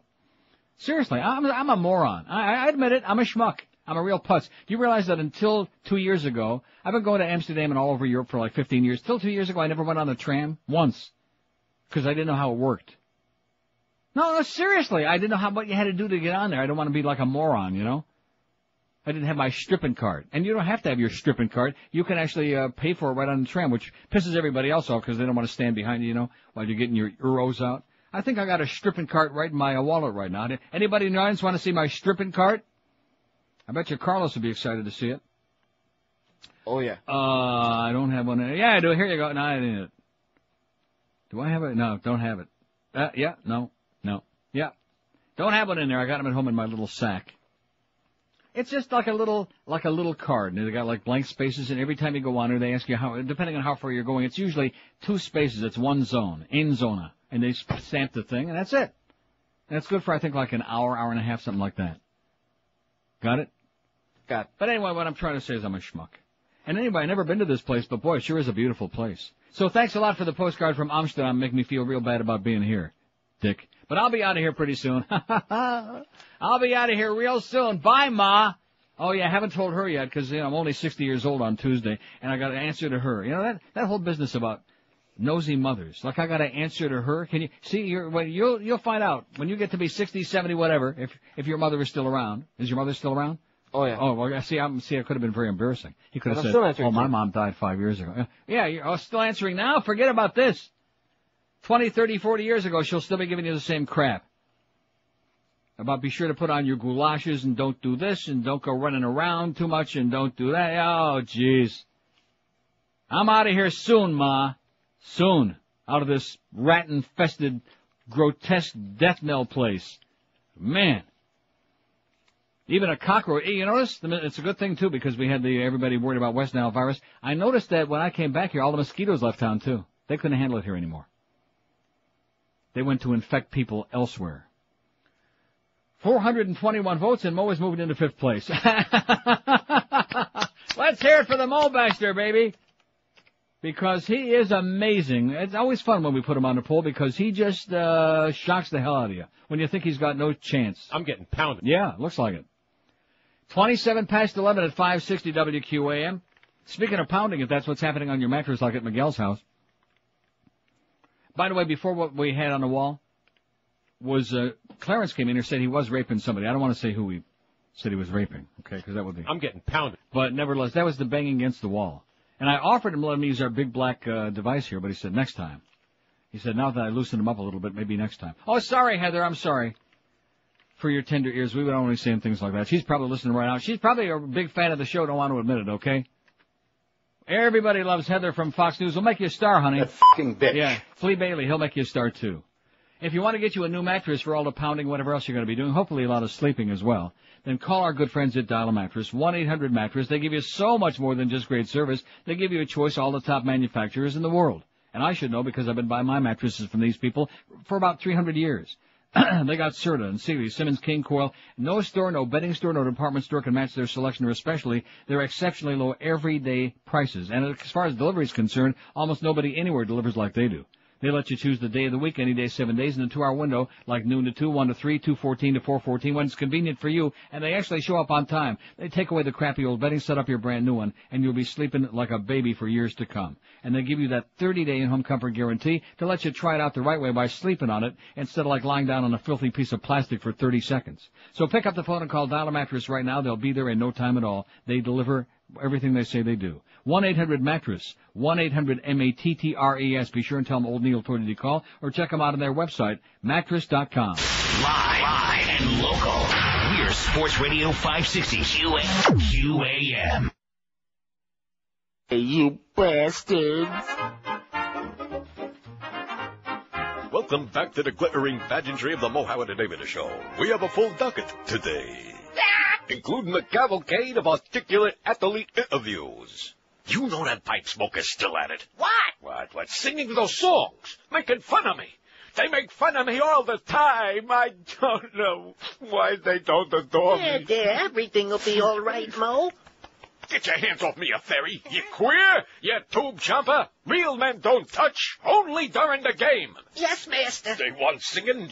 I'll give 'em singing. Get on a piano. Over there. Okay, Mo. Now, hit it. Back in my day, men were straight. Being gay is hip today. That's why I can't tolerate jizz guzzling gays. Sport holes weren't gay back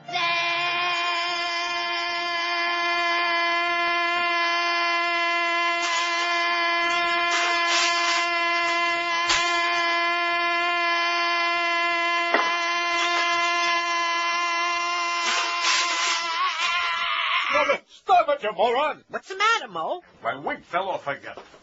Okay. All right, where were we? Sport holes weren't gay back Uh, I'll take it from here. The guys that like to worship men.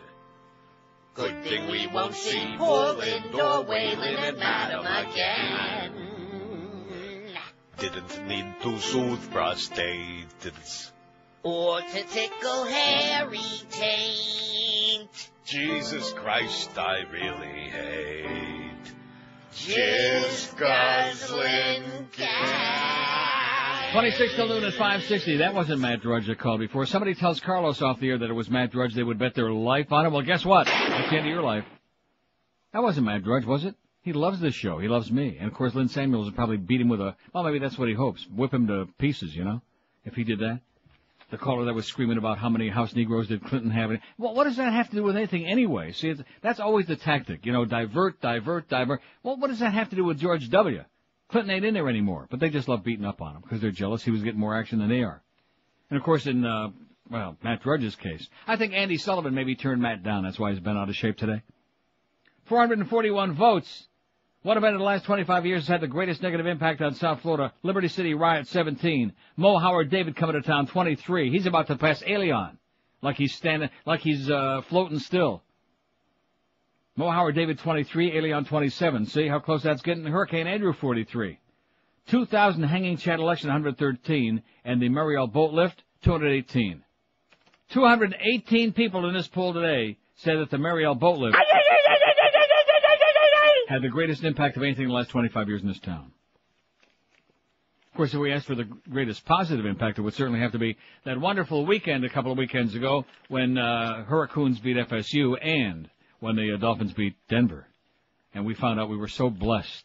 Of course. Blessed briefly, though, see, because even the Lord's blessings don't last forever. Five six seven oh five sixty pound five sixty on the ATT uh, whatever it is, ATT line. Here's Boca. Hello. How you doing, Neil? Okay. Hey, uh, while we're on the topic of uh, Fox News, I was reading in uh, Michael Moore's book "Stupid White Men." Uh huh. Uh, the night of the, wait, wait, wait. Stupid. Oh yeah, stupid white man's Michael Uh, Moore's book, right? Yeah. Yeah, the uh, the night of the 2000 election, when all, there was all the confusion of uh, who who won, uh, a decision was made by uh, the the man in charge at the Fox News channel to go out first and say that uh, Bush won. Well, the man in charge who made this decision was John Ellis. Now, who's John Ellis? He's the first cousin of George W. and Jeb Bush. How do you like that? Yeah, so I just want to pass that along because I was exactly. More drama. I guess you didn't see John Gibson last night either, huh? No, I didn't. I don't watch that. Crap. Isn't that pretty embarrassing that uh, they did a 10 minute segment with this big thing they're trying to whip up about uh, not much to do about nothing on his show, and one person saw it in the whole audience. Well, it's not. uh Fox News is George Bush's network, so Exactly. there you go. It's not our crowd. Thanks a lot. All right. See ya. Who do you like better, John Ellis or Shirley Ellis? The name game. Huh? Now what what is that under? The name game. Oh, it's under Ebonics name game is what it's under. You know? Yeah. Always liked Shirley Ellis, man. And old Doc Ellis too. Come on, everybody. Yo, look here, man. We gonna play a game. Say what? We be flipping scripts around, and Ebonics be the name. Yo, what you talking about? You take a funky dope word Boy, and bust some skills to make it rhyme. got a bust of skills. Check out what I've been kicking. What you talking about? You have it down in no time. Show up. Skeezer. Skeezer, skeezer, for pizza, for banana, for pizza, pizza, for pizza. Skeezer.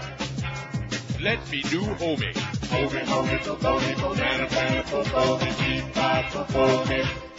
Homie. Yo, this be Anthony. Anthony, Anthony, for Anthony, banner, banner, for Anthony, feedback, for Anthony. Anthony. Who that hoe? Ho, ho, ho, ho, ho, Banner, banner, for ho. Feedback, for ho. Ho.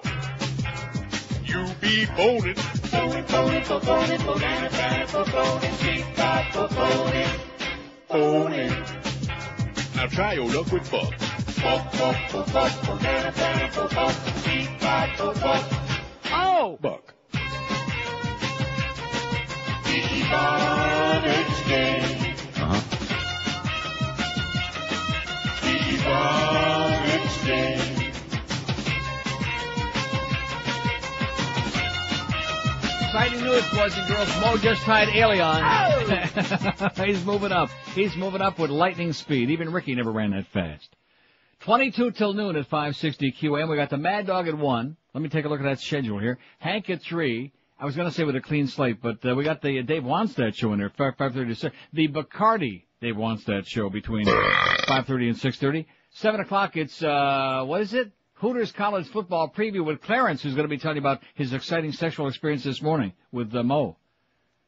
Josh Darrow, Joe, Mo, and uh, the uh, Don Bailey Jr.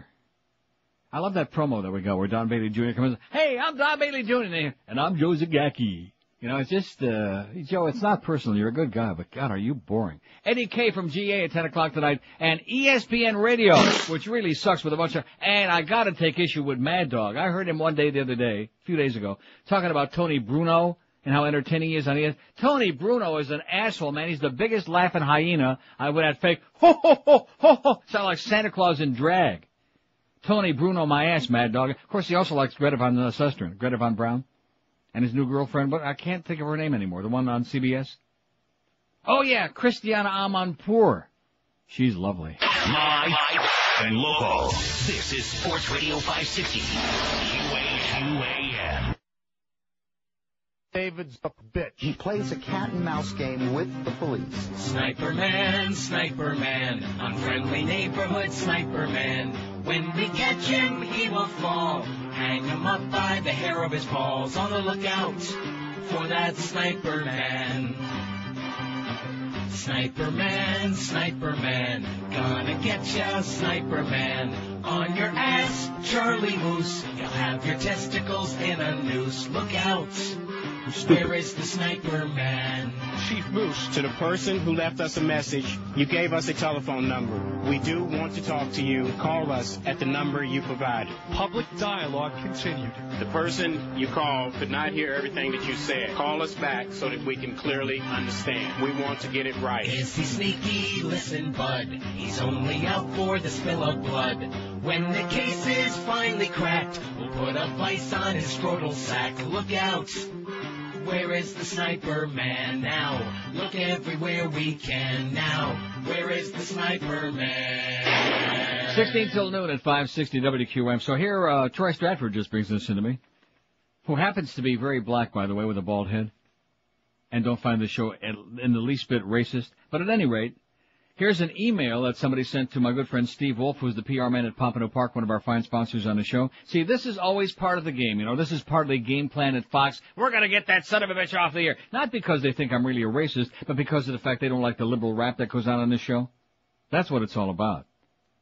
They don't want anybody on the air except, uh, I guess basically except their right wingers. They have the other people on there just for window dressing, you know, like Alan Colmes, who's as weak, he, he's as weak as a piece of limp spaghetti. He's just there as a foil for Sean Hannity. But at any rate, uh, I won't even use the guy's name on the air because he's not a public figure, although we could gladly make him one. One of the patrons of Pompano Park says, I'll go to other racetracks as long as you're a sponsor of Neil Rogers' radio show. He's a racist and owes an apology to Condoleezza Rice and other blacks of accomplishment. Well, there are many blacks of accomplishment. In fact, one of the people I was quoting when my conversation yesterday was Harry Belafonte, who looks kind of black to me. I have nothing against Harry. In fact, uh, when I was a kid, I actually had the Banana Boat song. They go, all of that stuff, you know. Oh. So Harry's okay. At any rate, uh, the response from Steve Wolf is, Dear Mr. So-and-so, although we at Pompano Park don't always agree with Neil's opinion, we do believe in free speech. Neil treats everyone the same, and if everybody thought he was a racist, this show would not have been on the air for the past 25 years, and he wouldn't have the number one radio talk show in South Florida. Pompano Park is proud to be a sponsor of Neil's show since the day he started, and we will continue to do so. If he really offends you, then please turn to another channel. I hope you'll continue to be a patron of Pompano Park, despite our disagreements on radio talk show hosts. Nice going there, Steve. I always knew you had it in you. Well, I hoped you did. Wasn't too sure. There you go, Steve Wolf at Pompano Park. So you can try all the old games, and like I said, they're not even in the market. What they're trying to do is stir up a bunch of crap from outside.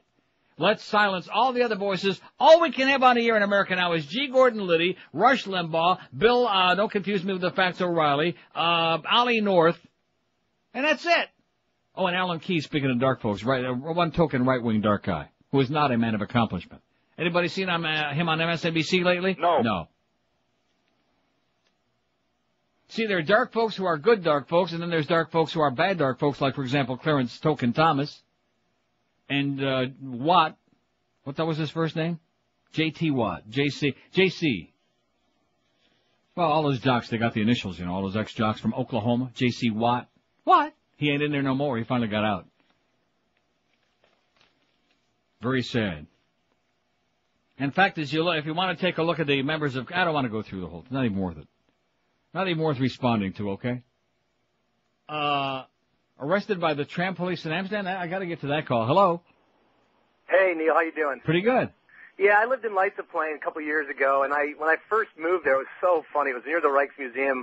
I got on the tram out of Leidseplein, and I wasn't really sure how to use those tickets you were talking about, Right. and I, I didn't buy one, and I Mhm. was just. Uh-oh. Uh, you know, did you ever get on the tram when like five or six of those red coats would come on storming to Twice. people? Twice. All of the, Well, they- the- all the me. thousands of times that I've used the tram over there, twice I've been on it. Of course, I'm always a good guy, you know. I, I always the, the ones that are like um um, the, the, the, some are conductor trams where they actually, most of them are conductor trams where you have to give it to the conductor to stamp it. And then they have some of the others like number uh, 16 and 24 where you have to fold over your tr- uh, gun, Yeah. stick it in the machine and stamp it yourself. So if you really don't know the lay of the land, it's very easy to do that. But twice I've been on there and the guys in the coats came on and they all of a sudden they come out of nowhere it seems like. I they they, come out of nowhere Yeah. exactly, and it was very it was right on the spot, a hundred guilders. yeah. You know, I mean, boom! You're, and I was ridiculed, and I felt like an idiot. And There, know, there was a young, there was a young couple last time I saw that happen this summer. I guess it was. There was a young couple who had their dog on there with them on the tram, and a guy came by, and they were like, uh, they were trying to like walk off. He said, ah, no, then they blocked their way, like no chance, you know. No, they and have they, the- they have and the they said, well, come. let we'll let the dog go this time. In other words, they didn't find the dog, but they find them, and they made him pay before they let him off the tram. And regarding the racism thing, listening just briefly, uh, you know, people mix opinion with racism. You're you're you're just you're talking opinion. You're you're spouting your opinion. It's it's far from racism. Yeah. We we live in such a homogenized vanilla society here in America now, and you know, when you live over there, you get a real good understanding of why you don't want to live here anymore. We don't have too many vanilla cheeks here, though. Yeah, exactly. Have a great day, pal. Likewise. See you on the uh, uh, Rembrandtplein. On something. So there's a guy that got, uh, that's very rare because you don't see them that often. They don't come out of the, uh, the tram police. 5670560, pound 560 on the AT&T and Verizon Wireless line. Rolling along singing a song. I already got one protest there to Pompano Park. I got news for you, sir, okay? I'm not even gonna say it. He's gonna go to another track. Is this guy gonna go to another? No. He'll go to another harness track. Is there another harness track in town? No. No, there's not. He'll be at Pompano Park. In fact, he'll be there, I'll guarantee, with bells on, plunging his brains out. Probably gambling away the goddamn lunch money. Five six seven oh five sixty. Let's go to uh, Miami. Hello. Hey, Neil. Yes, sir. Hey, I was calling uh, also about um, that that caller that uh, asked who Clinton's house Negro was. Yeah. That that sounded like Matt Drudge to me. Did it? Sure did. Well, why, why would he? Isn't he a why fan of the why show? would he? Yeah, he's a big fan of mine. Why would he do that? Uh, I don't know. Maybe he uh, maybe felt he could call up and you wouldn't recognize his voice. That's the Listen, forget about the voice. I didn't recognize him when he walked in here a couple of weeks ago. He was here with Lynn Samuels, and I, he says, "Oh, I'm just the driver today." I thought it was your limo driver. I didn't. re- I Did he have his hat on? No, I've seen the guy only twice in my life. Okay, like I'm going to recognize him. uh, the other thing I was calling about was after that woman called yesterday, uh, Yeah. Heather, Yes. Heather the bitch. Uh huh. Um, I went on Google and did a search uh, to see because she said it was like uh, a lot of people were upset, and I figured uh, there'd be a lot of news stories about this. Right. I found one news story.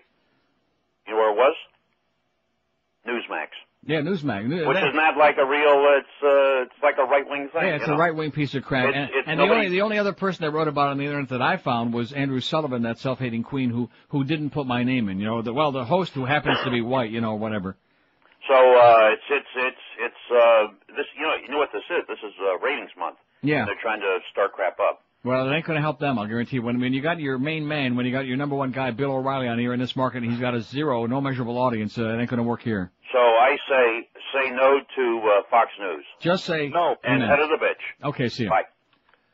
How do you like that, Heather? You're making a tremendous impact here. Now we've been on almost three hours today. We had one person, one nice lady, who saw it yesterday, John uh, Gibson. See, when I turn him on, I immediately think all those ugly OJ days on and on, and I immediately flip off. I flip him off, and that's it. And evidently, a lot of other people do as well. I do like that guy in the morning though on CNN. I can't stand Paula. She makes me nauseous. She makes me want to duty in my pants. But what's the guy's name again? I wrote it down here somewhere. I'll never find it. You know the the crusty guy they got on there, Jack uh, something, Jack off, whatever his name is. He's a panic, and he this morning was going off on it. on it was incredible. Harvey Pitt.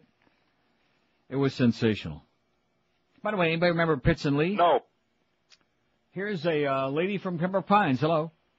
Hello. Yes, ma'am. Hi, Neil. How are you? Wanted to, long time listener, first time caller. Wanted to tell you happy 60th for you on Tuesday. Thank you. And yeah, Heather is a bitch. Yeah. Because I mean, just trying to make you look and trying to make everybody look bad. And, And also, then, then I love this thing they do, and of course they're probably trying to, you know, suck me into a big uh, thing about it, which I'm not going to do. I've been around too long for that. But they got to put my picture on there and then show the building, the station, everything. And here's a guy that's a racist, and they twist it all out of uh, proportion, you know. But I'm to hell with them, you know.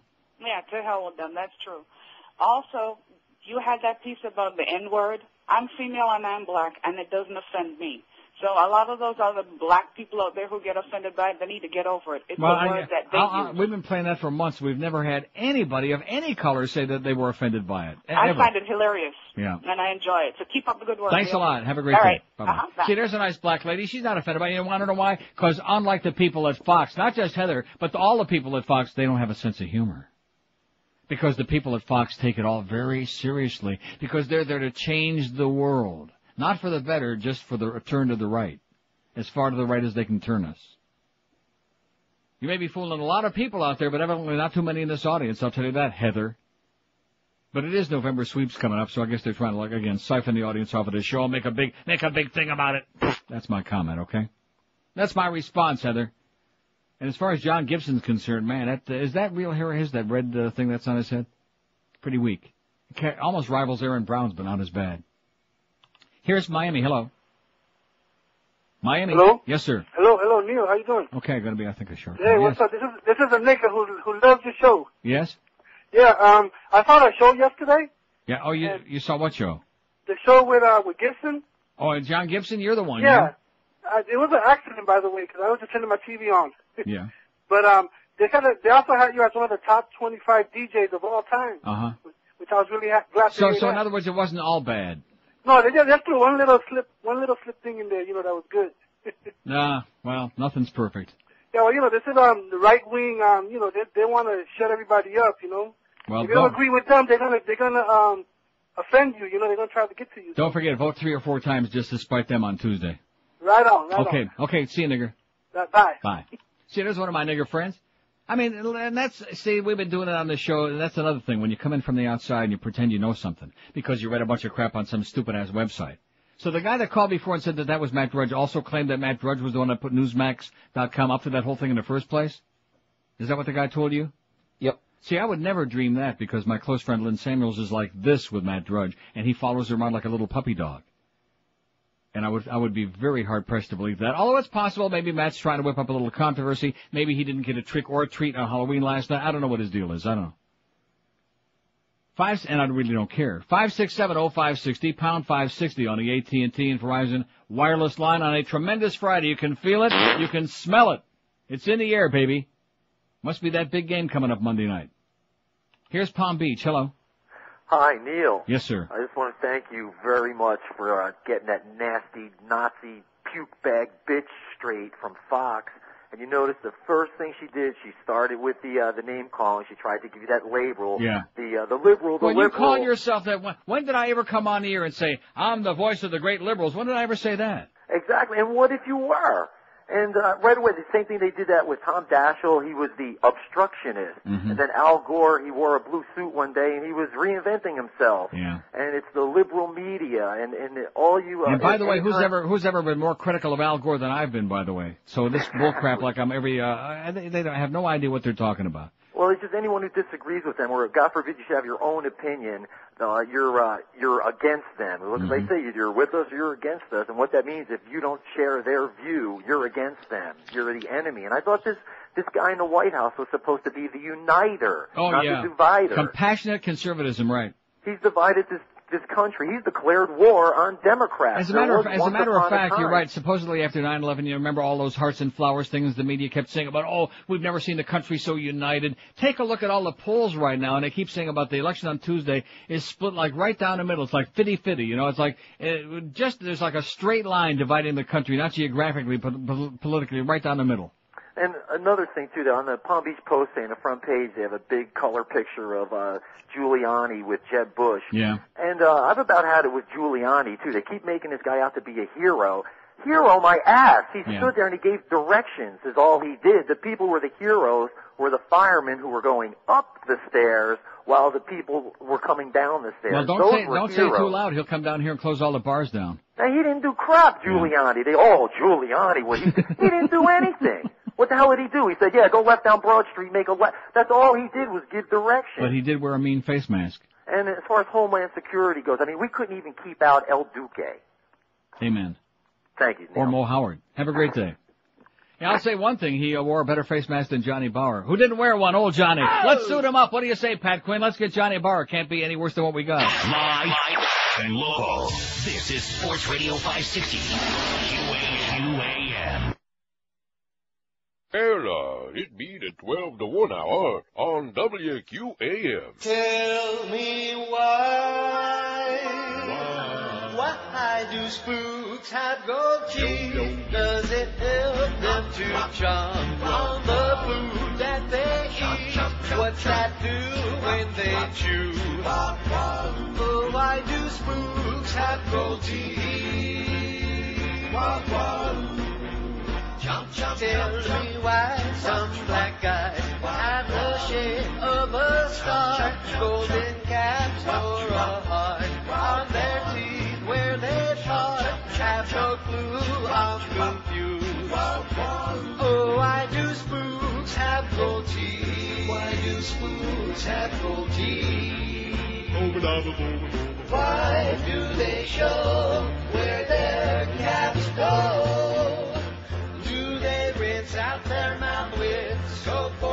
Or show off their dental work as if we care? If I found out who their dentist was, I ain't going there. Oh, why tell me why? Why don't spoons blow their nose? Hear them snort in the store as they walk past tissue rolls. No tissue inhale goo. Oh, why don't spoons blow their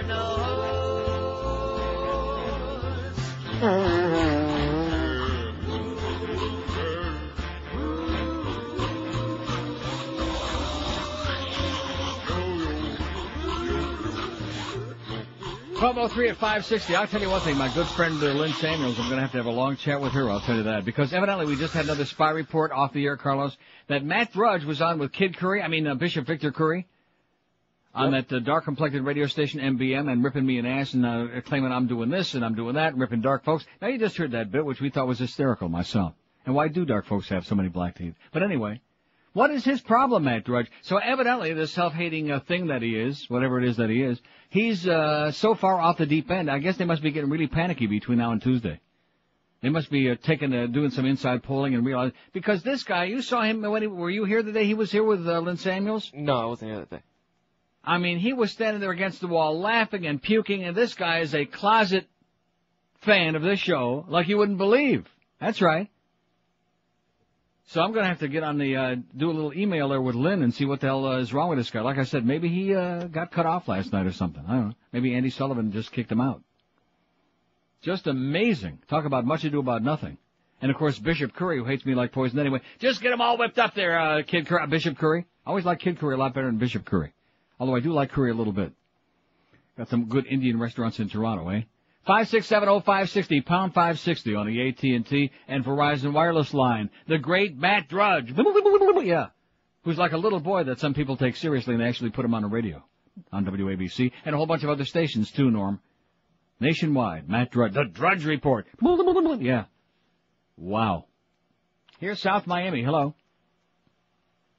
South Miami's gone. Uh huh. It is now. Here's Palm Beach. Hello. Neil, Yes, sir. Eddie K. runs the GA. What did you just say? Something about GA? Eddie K rhymes with GA. Oh, oh, great, very good, excellent call. Five six seven oh five sixty pound five sixty on the AT and T line. St. Paul, Minneapolis. Hello. Good morning, Neil. How are you doing? Okay. Pleasure speaking with you. It first, is. First time WAP caller, All right. long time listener. We go way back before Zeta and the Bird, you know, mention his ponytail. All right. Sometimes I feel myself. Uh huh. Up in the Twin Cities, I'm hooked up on the internet, and so far, no Haitians to report up here yet. Damn it. So far, so good. Nah, but guess what? We got a couple of hundred we're going to send up there in a couple Uh, of weeks. I'm looking forward to it, buddy. Nice and cool up here. Ought to make them real nice and comfortable, if you know what I mean. Right. Got a Larry Spy report for you. On Thursday night, uh, he had Heather Mills McCartney on there, and he Give me referred, fifty dollars. he referred to her uh, three times as Heather Hills McCartney. and by the time he was able to get it together, you could actually watch him stop. His mouth, his eyes would move around like if his brain was trying to get it together, and he carefully put out the words Mills McCartney after he was getting it together. I, I've been doing this a long time. Yeah, maybe too long. Yeah. Are He, you, he uh, must be falling apart because now Hannity and Sherlock Holmes are beating him on Fox, so he must be crumbling at the seams. He's in tough shape. He is. I don't see how, how he's going to make it much longer myself, but who knows? He's He, he can he can barely fill out the suspenders. Pretty soon they're going to start slipping off his uh, sloped shoulders. Well, sh- shoot, you know, I mean, it's going, they look like two mountains on the side of a of a, of a cavern there. Yeah. You know.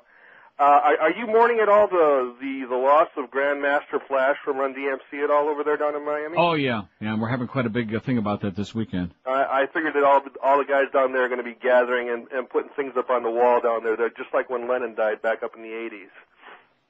Well, Neil, you know, as it stands, my brand muffin is kicking in. So, Okay, you know, you're going to have to get out of here. Happy birthday. Thanks. Love you. Hang in there. Say hi to Jesse too and tell him to cut the crap. Jesse Ventura, that is, not the other Jesse. Oh, see, there you go again. Everything can be turned into a racial thing. If you want to really, yeah, well, that, that's going to be our poll question. What the hell happened to Matt Drudge? What did he go off the deep end or what? What is his story? Fi- Who was that? I, I was I was on another call, but it wasn't Grandmaster Flash. It was Grandmaster J. Oh, excuse me, Grandmaster J. Well, what do I know? I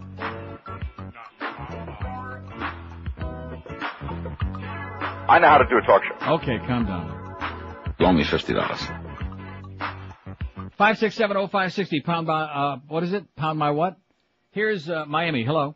Yeah, you know, if, if Heather wants to do some real um, investigative journalism instead of looking at um, adult radio in Miami, my suggestion is that she take a look at um, Jeb Bush's activities when he was the campaign manager for Ros-Lehtinen, the point man to release Orlando Bosch, the Cuban terrorist who blew up an airplane full of people. Mm-hmm. Here we are in the day and age of terrorism, and uh, we're going to reelect the governor who who 10 or 11 years ago said, hey, let's let terrorists out of jail? Not with my help. Well, I'll tell you what, buddy, I already voted, and I hope that that SOB, General Jeb, goes down just like his ancestor. And don't forget, vote again Tuesday. You're damn right I am. Okay, see ya. He's whipped up to a frenzy, and that's good. See, uh, all you people out there are trying to get everybody uh, whipped up, you're gonna, it's gonna have like a backlash, baby, backlash. So Matt Drudge called back yet or what? Not yet. Five six seven oh five. Oh, he's too busy with Kid Curry. Five six seven oh five sixty. Pound five sixty. We'll get a spy report on that or two or three. Eight minutes past noon. And by the way, the dark folks have no idea who he is anyway. Live and local. This, this is 560. The radio's all yours now. QAM. Friday, you bastard. This is former Vice President of the United States, Al Gore. I have recently poked my head out of the shadows of oblivion to take pot shots at the President.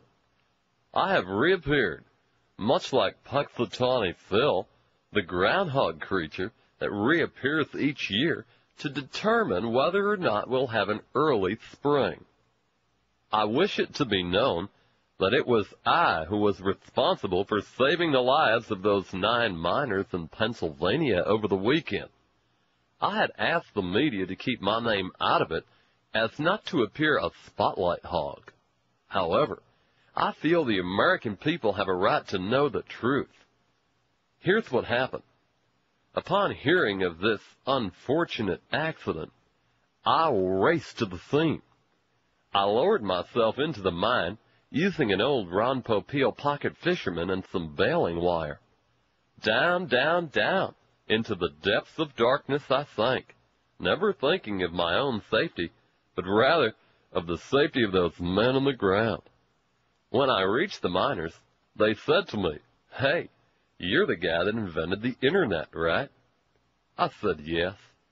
We all had a Mike's Hard Lemonade, which I brought with me down into the hole, and then we sat around and reenacted the fart scene from Blazing Saddles. I thought you should know the truth. And now, much like the groundhog creature Pucks the Tawny Phil, I'll sink back into the darkness of oblivion until I am needed again. This is Al Gore, superhero. Superhero. It sounds kind of gay the way he says that. Twelve thirteen at five sixty. I just sent an email to Lynn Samuels and I told her to get a leash and a collar for her buddy Matt. Well, of course, these are just calls that are coming in from outside. First of all, I wouldn't recognize his voice if he called again six times in a row. That's number one. And number two, uh, we don't know if that's true or not. Maybe he is on with Kid Curry, uh, Bishop Curry. Right. Because there ain't nobody listening to it anyway. Five six seven oh five sixty pound five sixty on the AT and T. But it's really interesting that just four days before the election, all this stuff is whipping up. These people are off. They're, they've gone off the deep end. So they must be really very nervous because the only thing of any consequence going on here is the Jebster man on Tuesday, Bill McBride, your next governor, and the Jebster. That's the only thing of uh, any real consequence. So they must be real nervous. Here's Miami. Hello. Hello. Yes, sir. How you doing now? Okay. Hey, I think uh, I might have a spy report for you. Okay. Um, but I'm not sure. But I have on a reliable source that the situation you're going through with Heather and what's happening in New York. Yeah.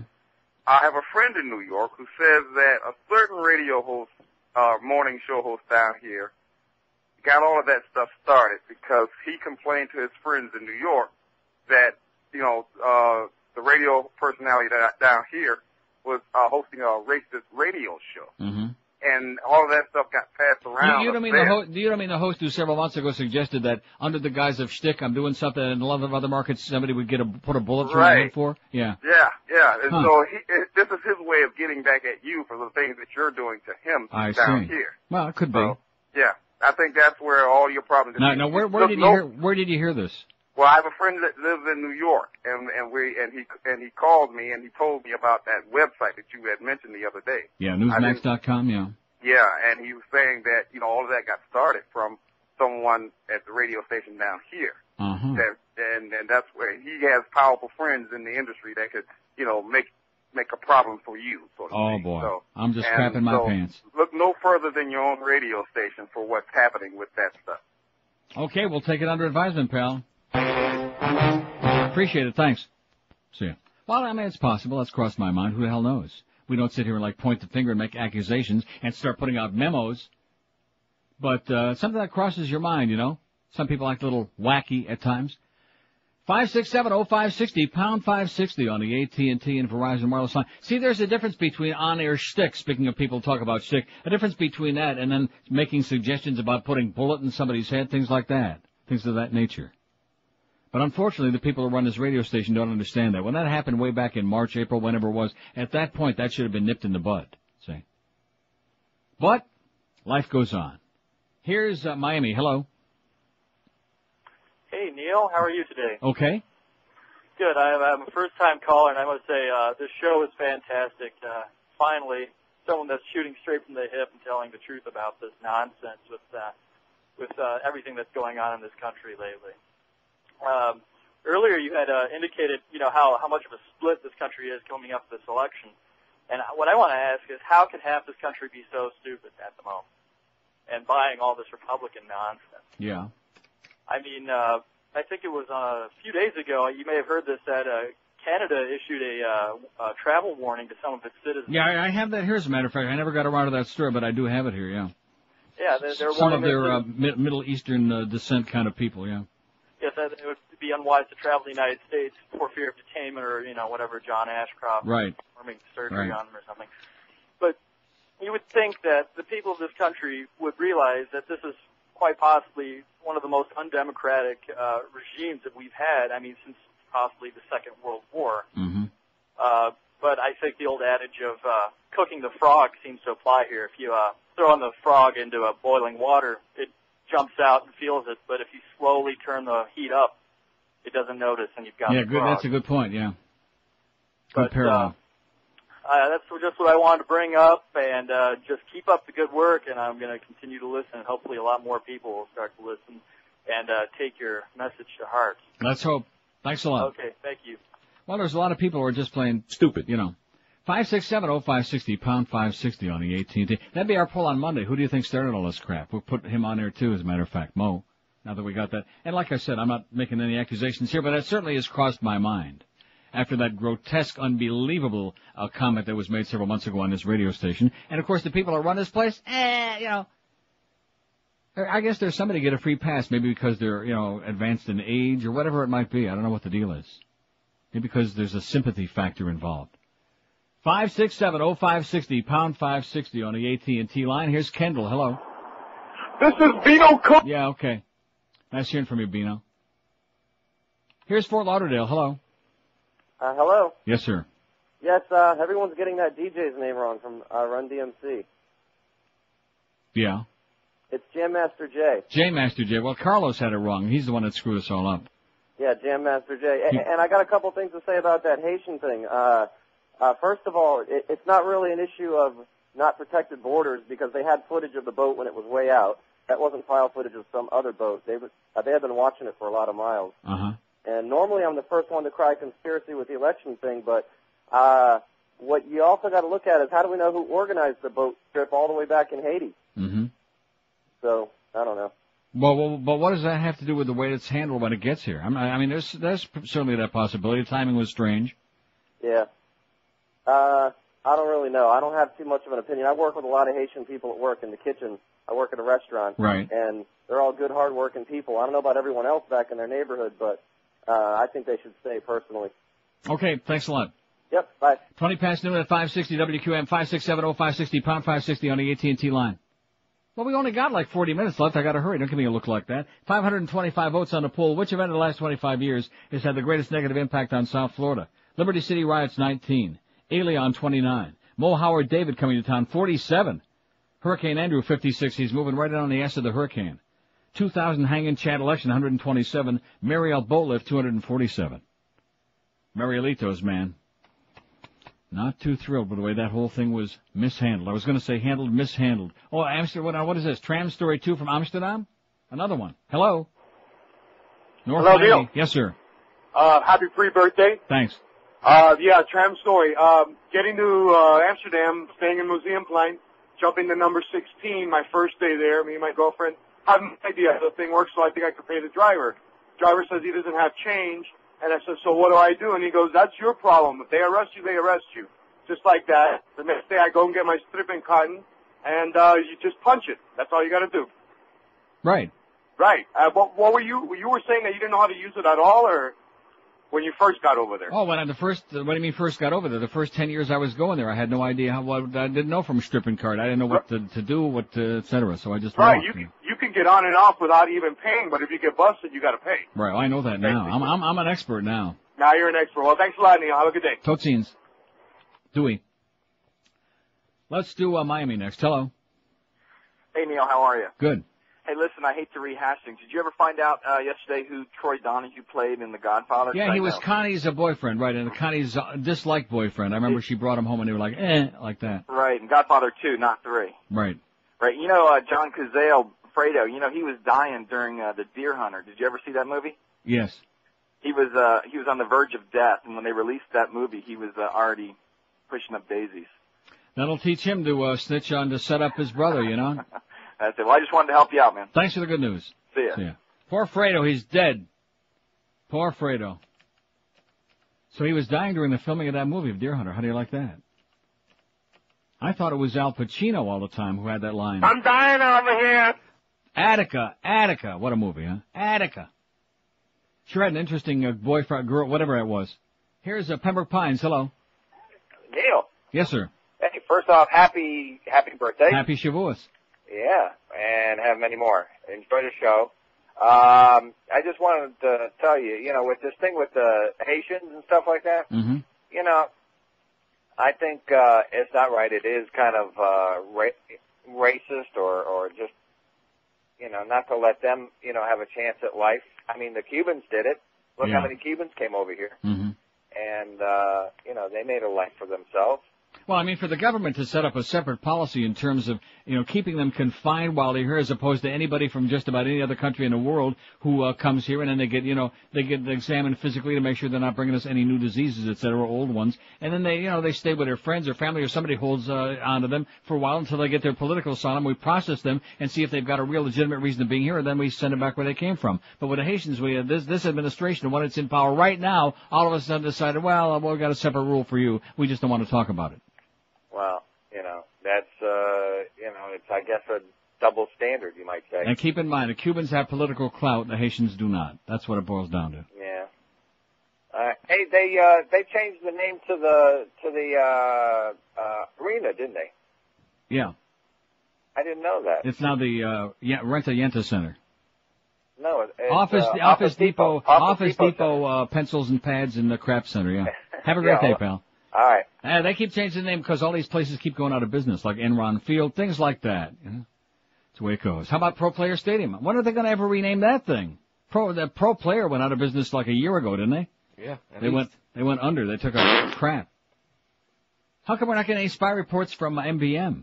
Wouldn't you think that a lot of our uh, folks listen to MBM? No. No, maybe one. Now was that a, a dark guy that called you to give you that spy report? Because white white folks do not listen to WMBM or Bishop Curry. Here's uh, Miami. Hello. Neil, Yes, sir. uh, I don't. I thought for sure that was Matt Drudge immediately when I heard his voice. Anyway, I don't know why you think that uh, he's such a buddy of yours. I mean, I've personally heard him at least on a couple of occasions rip you a big one on his show. Really? Especially during the During during the what? uh, during the election debacle. Uh, Yeah. Well, now what's happening with this call? Did I do that?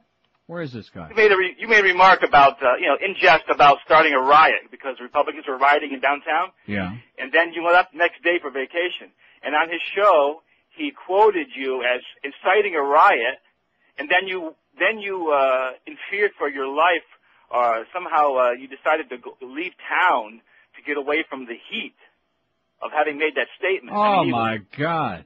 I mean, it was. Uh, he, he's it was- talking about a guy that sat here through Mariel for uh, two years and sat with 80 billion. We had legal pads full of death threats, and he said, "I'm afraid, afraid for my life." I mean, he, he, you know, he implied you had made those inflammatory statements about getting people to riot, and then you split town. But yeah, let, let me let me say this here. post, Let me you say know. this. I have never heard this man on the air in my life.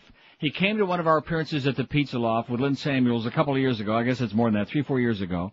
Uh, pretends to be a real big groupie, my kind of a closet groupie. Yeah. And Lynn, who's a big fan of mine, I email back and forth with her all the time. Who's who's uh, she got? I don't know if you ever looked at her website. It's phenomenal. I mean, I've she's, heard her many times, She's a uh, real liberal and real legitimate and a good They do friend. a show together, But the two of but but she, she I say I don't understand that because she came in here a couple of weeks ago just to say hi with Boca Brian, and Matt Drudge was in here with her, which I didn't recognize him because I see him once in my life, and and laughing and sucking up. So maybe he's got some kind of a uh, you know kind of a problem. You know what I mean? Yeah, well, listen, he has sometimes does uh, his show uh, for filling in for that uh, nutcase in Orlando, Schmidt. He'll him and Lynn will do a show together, like you know, uh, uh, uh, back and forth. Uh, Yeah.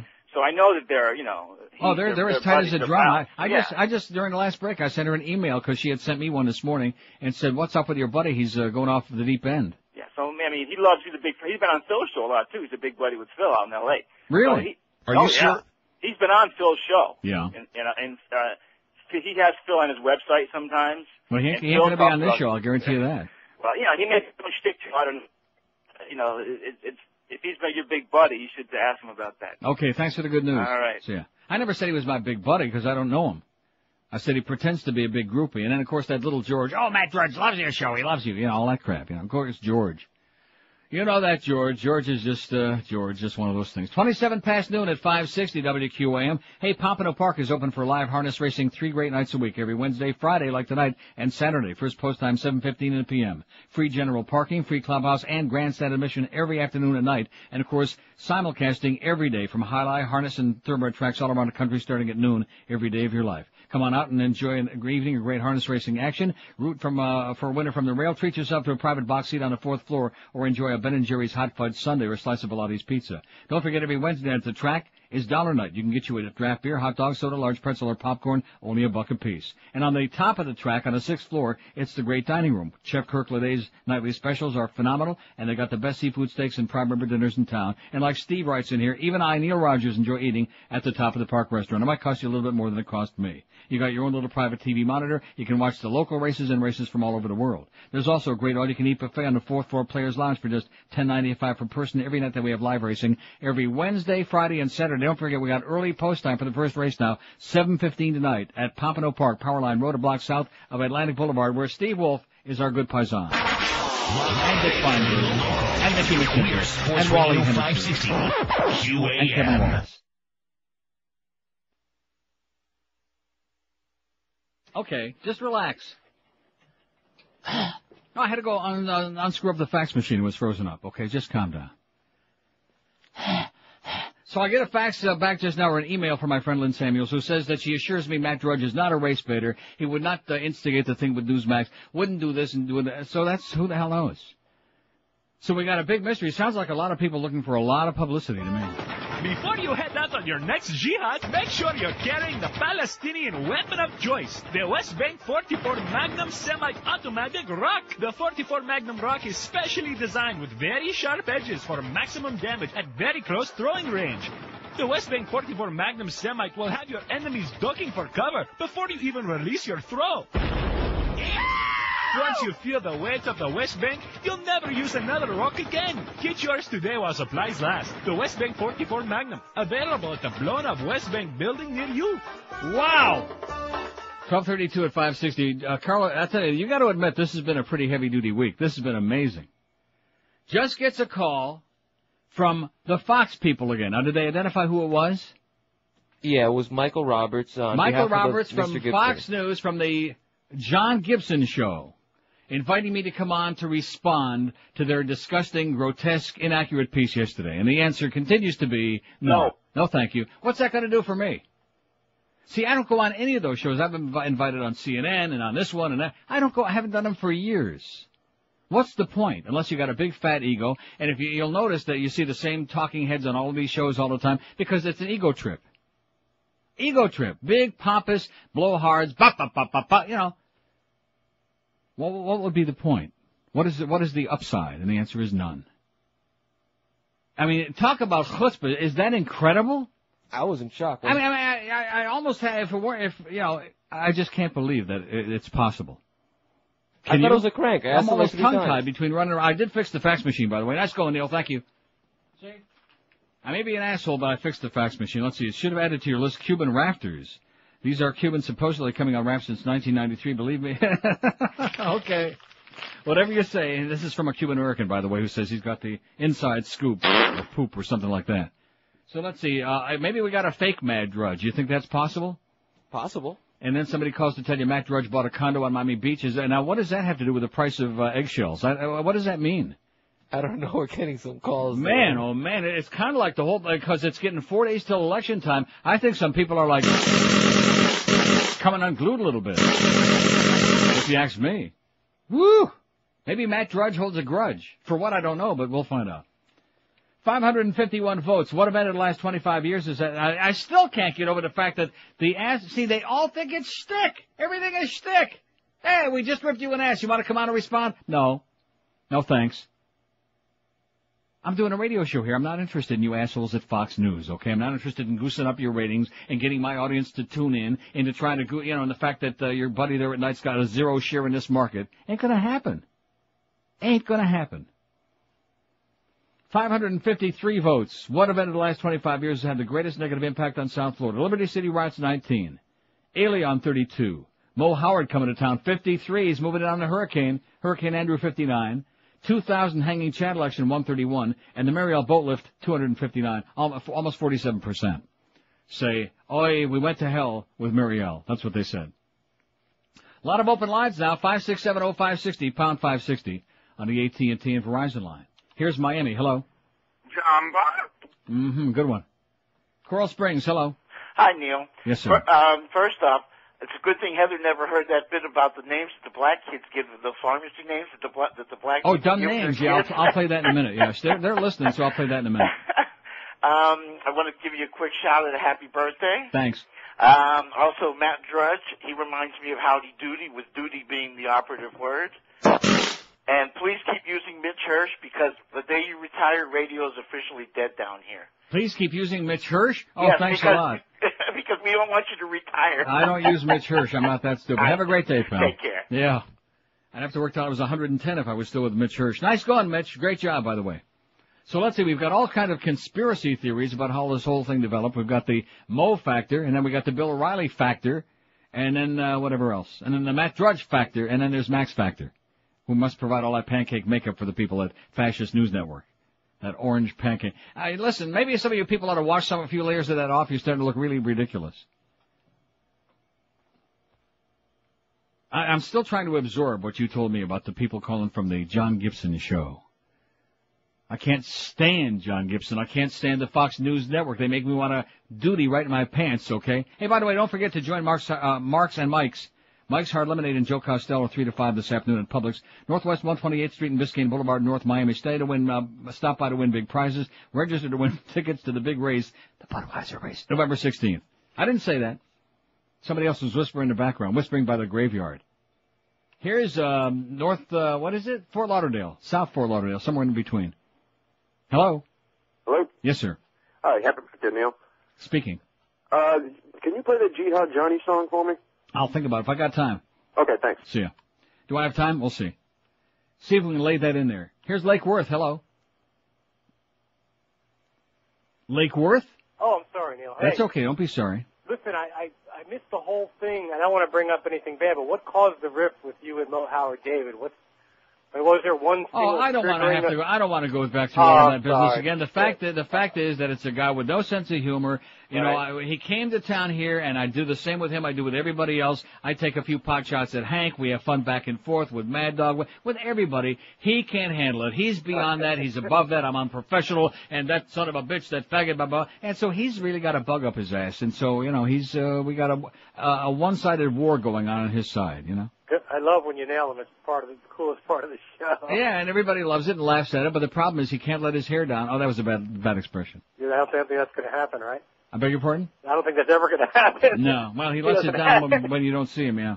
Now, his picture's on the website or something? Because I never had. Yeah, the uh, QAM website. Go to QAM.com and you'll see that dead animal that died on his head. All right, we love you, Neil. Thanks.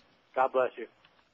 Yeah, Mo just unfortunately can't loosen up a little bit. In fact, that's what uh, Clarence was complaining about this morning too when they were doing all that banging against the wall. And he said, "Gee, I wish he'd loosen up a little," but he just can't do it. 21 till 1 at 560 WQAM where everybody's just gone like that. Live and local. This is Sports Radio 560. QAM. It's uh, Heather from Fox News. Hi, Neil. How are you? I'm okay, I think. Good. Thanks for taking our call. We've been trying to reach you for the past couple days. Trying to reach me, you've called people that haven't been invented yet. You called dead relatives of mine. What's the uh, story, Heather? We're working on a story about uh, the CD you're promoting on your website. That's Yeah. called Kiss. Uh, I won't say it. N-word. Good morning. Heather, are you listening to the show? Uh, yes, I am. I've been listening for Did- the past couple days. And just so you know, Well, wait, we are wait a minute. Did you us. did you hear me go through the entire uh, rationale of what that that that song had nothing to do with Condoleezza Rice? Uh huh. What about the song Condoleezza, Condoleezza? That has that well, that's obviously about Condoleezza. Uh huh. Yes. And I just want to know why you're why you're playing this on your show. No, I see. I'd like to know why.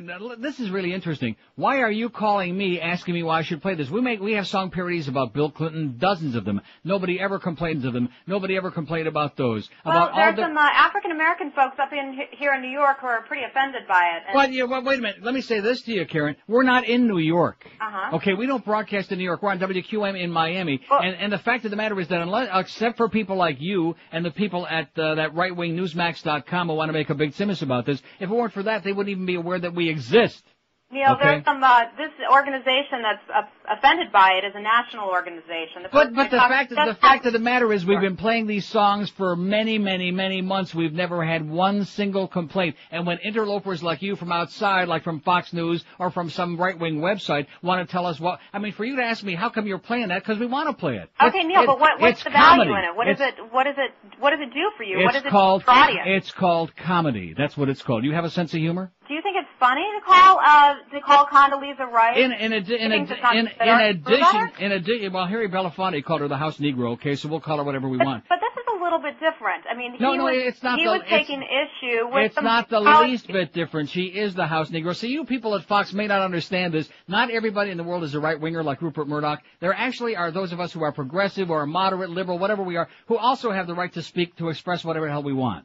So, so you, w- repeat again what you just said for me there. You think she is a what? She's the house Negro. Uh huh. And Yeah. you don't find anything wrong with that. What, what do you mean wrong with that? It's a fact. That's my opinion. Am I entitled to my opinion? Uh-huh. You're you're certainly entitled to your opinion, and that's but you know and, that, and that's some basic, folks are wondering and that's why you guys- basically if- that's if basically what Harry Belafonte said as well. And it's obvious. This is why nobody returned your calls, uh, Heather or whatever your name is, Uh-huh. because we knew that you were trying to stir up a bunch of crap and take something out of context. When I asked you, I- did, I don't think did, there's anything being did taken you, out of context. Did you listen? Did you listen? See, we're not. We're not. have been playing. We're not doing the Bill O'Reilly show, okay? It's my show, and I'm not going to have you scream over me or try to out talk me, okay? It's not going to work. Okay, uh, you know, I I, asked you in the beginning of the conversation, which I was very calm, and I asked you, did you hear me explain the origin of that song, the restitution song? The fact of the matter is, and I don't know, I'm sure he must have been on your channel, Randall Kennedy, the black uh, author who wrote the book Nigger, The Strange Career of a Troublesome Word. not that I'm aware of. Well, he was certainly on CNN, he was on MSNBC, maybe he wasn't on Fox because he wasn't, I, I don't know, maybe you just uh, didn't, weren't aware of it.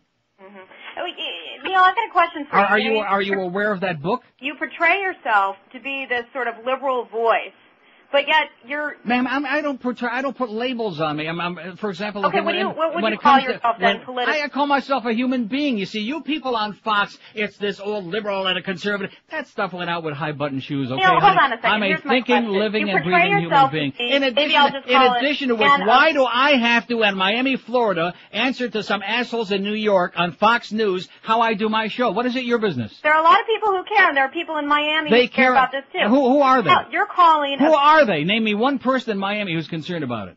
folks we know down there certainly, and I Na- thought name me one. Two. Look, Name me one. it's offensive to Name lie about me a woman one. Name me one. of a very oh, I high see, I don't care. I don't care what you say. we don't. her we don't like Condoleezza. Okay. And have a nice day. Okay. We're calling her whatever we feel like calling her. She's a public goddamn figure.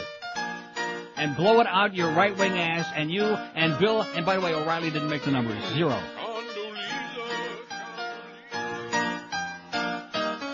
Congratulations on the big number, Bill. Condoleezza, Condoleezza, Chevron Mooley.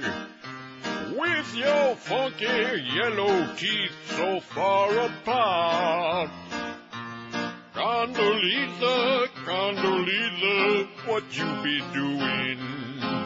It's neo-fascist like that token Schwarz's dog. Is you dead cause you a high-toned boot-lip Negro?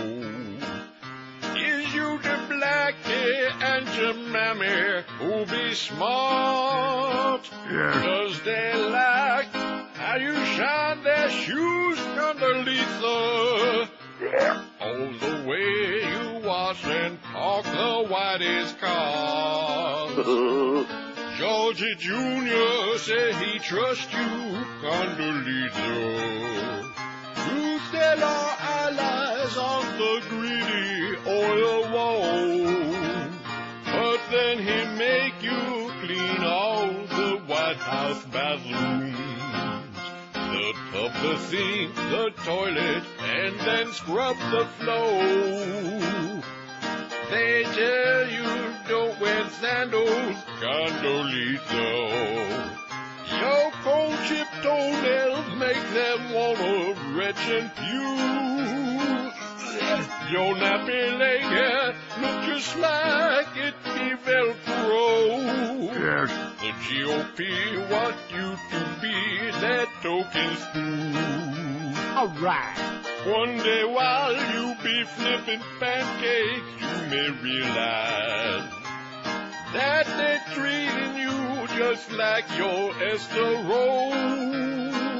That's when your head will move from side to side, Condoleezza. Until Bush and Rummy, they be cracker assholes. 1248 at 560 WQAM. Don't forget, join Mike's Hard Lemonade, Joe Costello, 3 to 5 this afternoon at Publix, Northwest 128th Street and Biscayne Boulevard, North Miami. Stop by to win our usual low-budget QM prizes and register to win tickets to the big Budweiser race on November 6th. 16th, sorry. So anyway, in case the thing about Matt Drudge is true, let me just go on record right now, and I've been saying it for many days. I'm going to be getting out of here very soon, like in a few days. So uh, if he would suggest that I'm leaving because the heat is on, and because he said this and uh, this one, that's the answer to that. Okay. It's almost almost enough to make me want to stick around. Almost, but not quite. Here's a fax that says, "Dear Mr. Rogers, from Larry."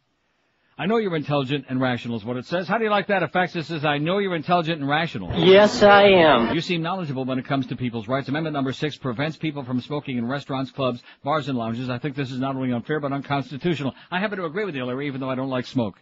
At least not that kind. A restaurant owner should have the right to decide if he wants to allow smoking in his restaurant, even if it's only in a certain section. After all, he's paying the rent, electric taxes, etc. Passing this amendment will hurt a lot of businesses and people will lose jobs. Also, a customer should have the right to decide if he or she wants to enter a place that allows smoking. I think amendment number six should say that all public businesses, including restaurants, bars, and so forth, should be required to post a 12 by 18 inch sign on all entrance doors stating whether smoking is permitted or prohibited in their establishment. This should be the people's choice, not the government's. Thank you for reading this, Larry. P.S. A friend of mine, and I had some friends from Europe visit him two weeks ago. Before we returned to Europe, one of them made the statement, this is a great country to visit, but I wouldn't want to live here. Too many rules. How do you like that? It says, please read this at 1230, crossed out 1240, as I'll be at lunch and be able to listen to you. Well, 1250 is close enough. and I agree with you, Larry. Too many goddamn restrictions, too many, uh, too much repression. You can't do this and you can't do that. Too many laws. Too many fascistic laws. So did Matt Drudge ever call again or what? Not that I know of. See, I, I don't, I, I, I mean, he just isn't that stupid. That he would, now I'm talking about the first call. About how many, uh, House Negroes did Bill Clinton have? Because Matt Drudge is just uh, too politically sophisticated for that. He knows about all the minorities that were in the Clinton administration, regardless of his own politics. Uh, unless he's just, uh, you know, maybe got some bad candy in his bag last night, and and just looking to stir the pot, or maybe sm- smoke some bad. Here's a fact that says Mariel Boatlift definitely number one. Thank you, Jimmy Carter. I was living in Gables by the sea at that time. Had my home broken into twice. My office on Brickell once. How about your other two favorites, OJ and Carollo? It says. Well, no question, they're two of the most unctuous figures in town, but they aren't happenings. And on four, I guess luckily for us, OJ is murdering so far on the West Coast. 584 votes. Uh, What event in the last 25 years has had the greatest negative impact in South Florida? Mariel Boatlift winning by a landslide, 272. The 2000 hanging Chad election, 136. Hurricane Andrew, 63, and moving up fast, right on the ass of Hurricane Andrew. Mo Howard coming to town, 60. Elian only 33, and Liberty City riots only 20. Small potatoes. Eight minutes to one, we got the Mad Dog at one o'clock. Live, live and local. We're Sports Radio 560 QA, QAM. Hi there, you bastards. Ladies, there's nothing worse than a stinky smell emanating from way down there. Ooh. Believe me, your love tunnel can get that way pretty fast from improper care. So if you want a clean, prim and proper love canal, you need to use Clitorox.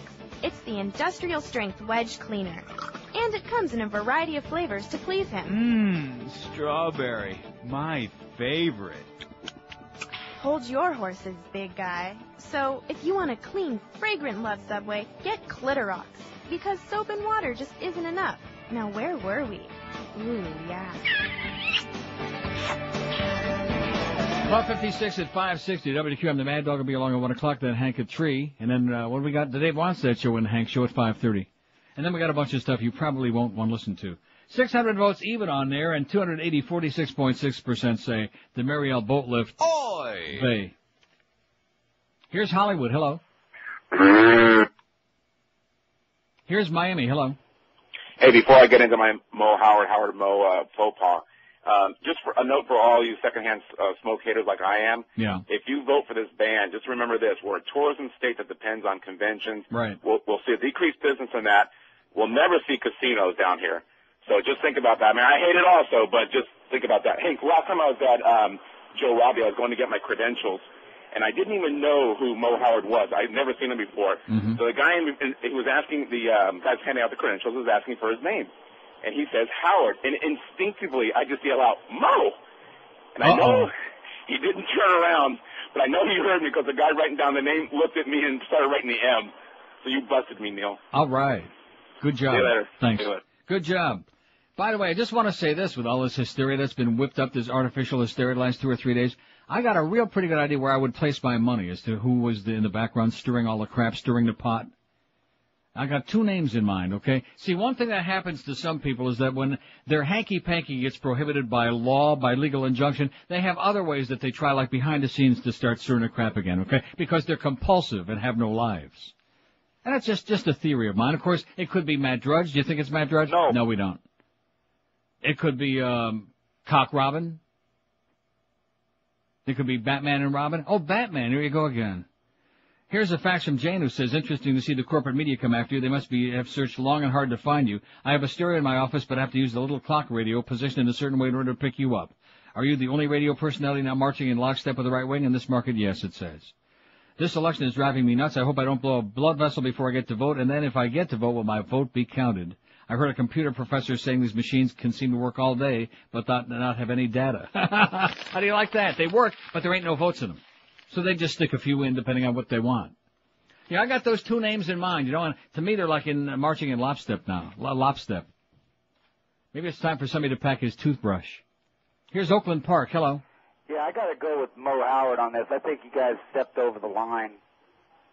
You know what I mean? On what? Well, I mean, you know, when he came in, you said there was going to be some joking, but now you got him and Geldy doing it, you know, whacking each other off. I mean, Yeah. don't you think that's a little bit too much? No. Everybody in the building thinks it's You'll hysterical. pay for your sins, sir. Okay, oh, that's Reverend Jones again. Well, we got him back. Let's hear it. Reverend Jones. nice hearing from you. And by the way, nice baseball cap. That's what Dick Feinberg told me at the track the other night. He said, lovely baseball cap. But turn it around the uh, right way, okay? You're too, too old to be wearing it backward. That's for punks. Even Carlos is wearing his cap uh, facing forward, okay? If you wear it backward, you either like got to be a punk or some old fart trying to be a punk, and that's embarrassing. Nice hearing from you, Reverend Jones. Here's uh, Vero Beach. Hello. Hey, Neil, first time, long time. All right. All right, I want to talk about your poll. Okay.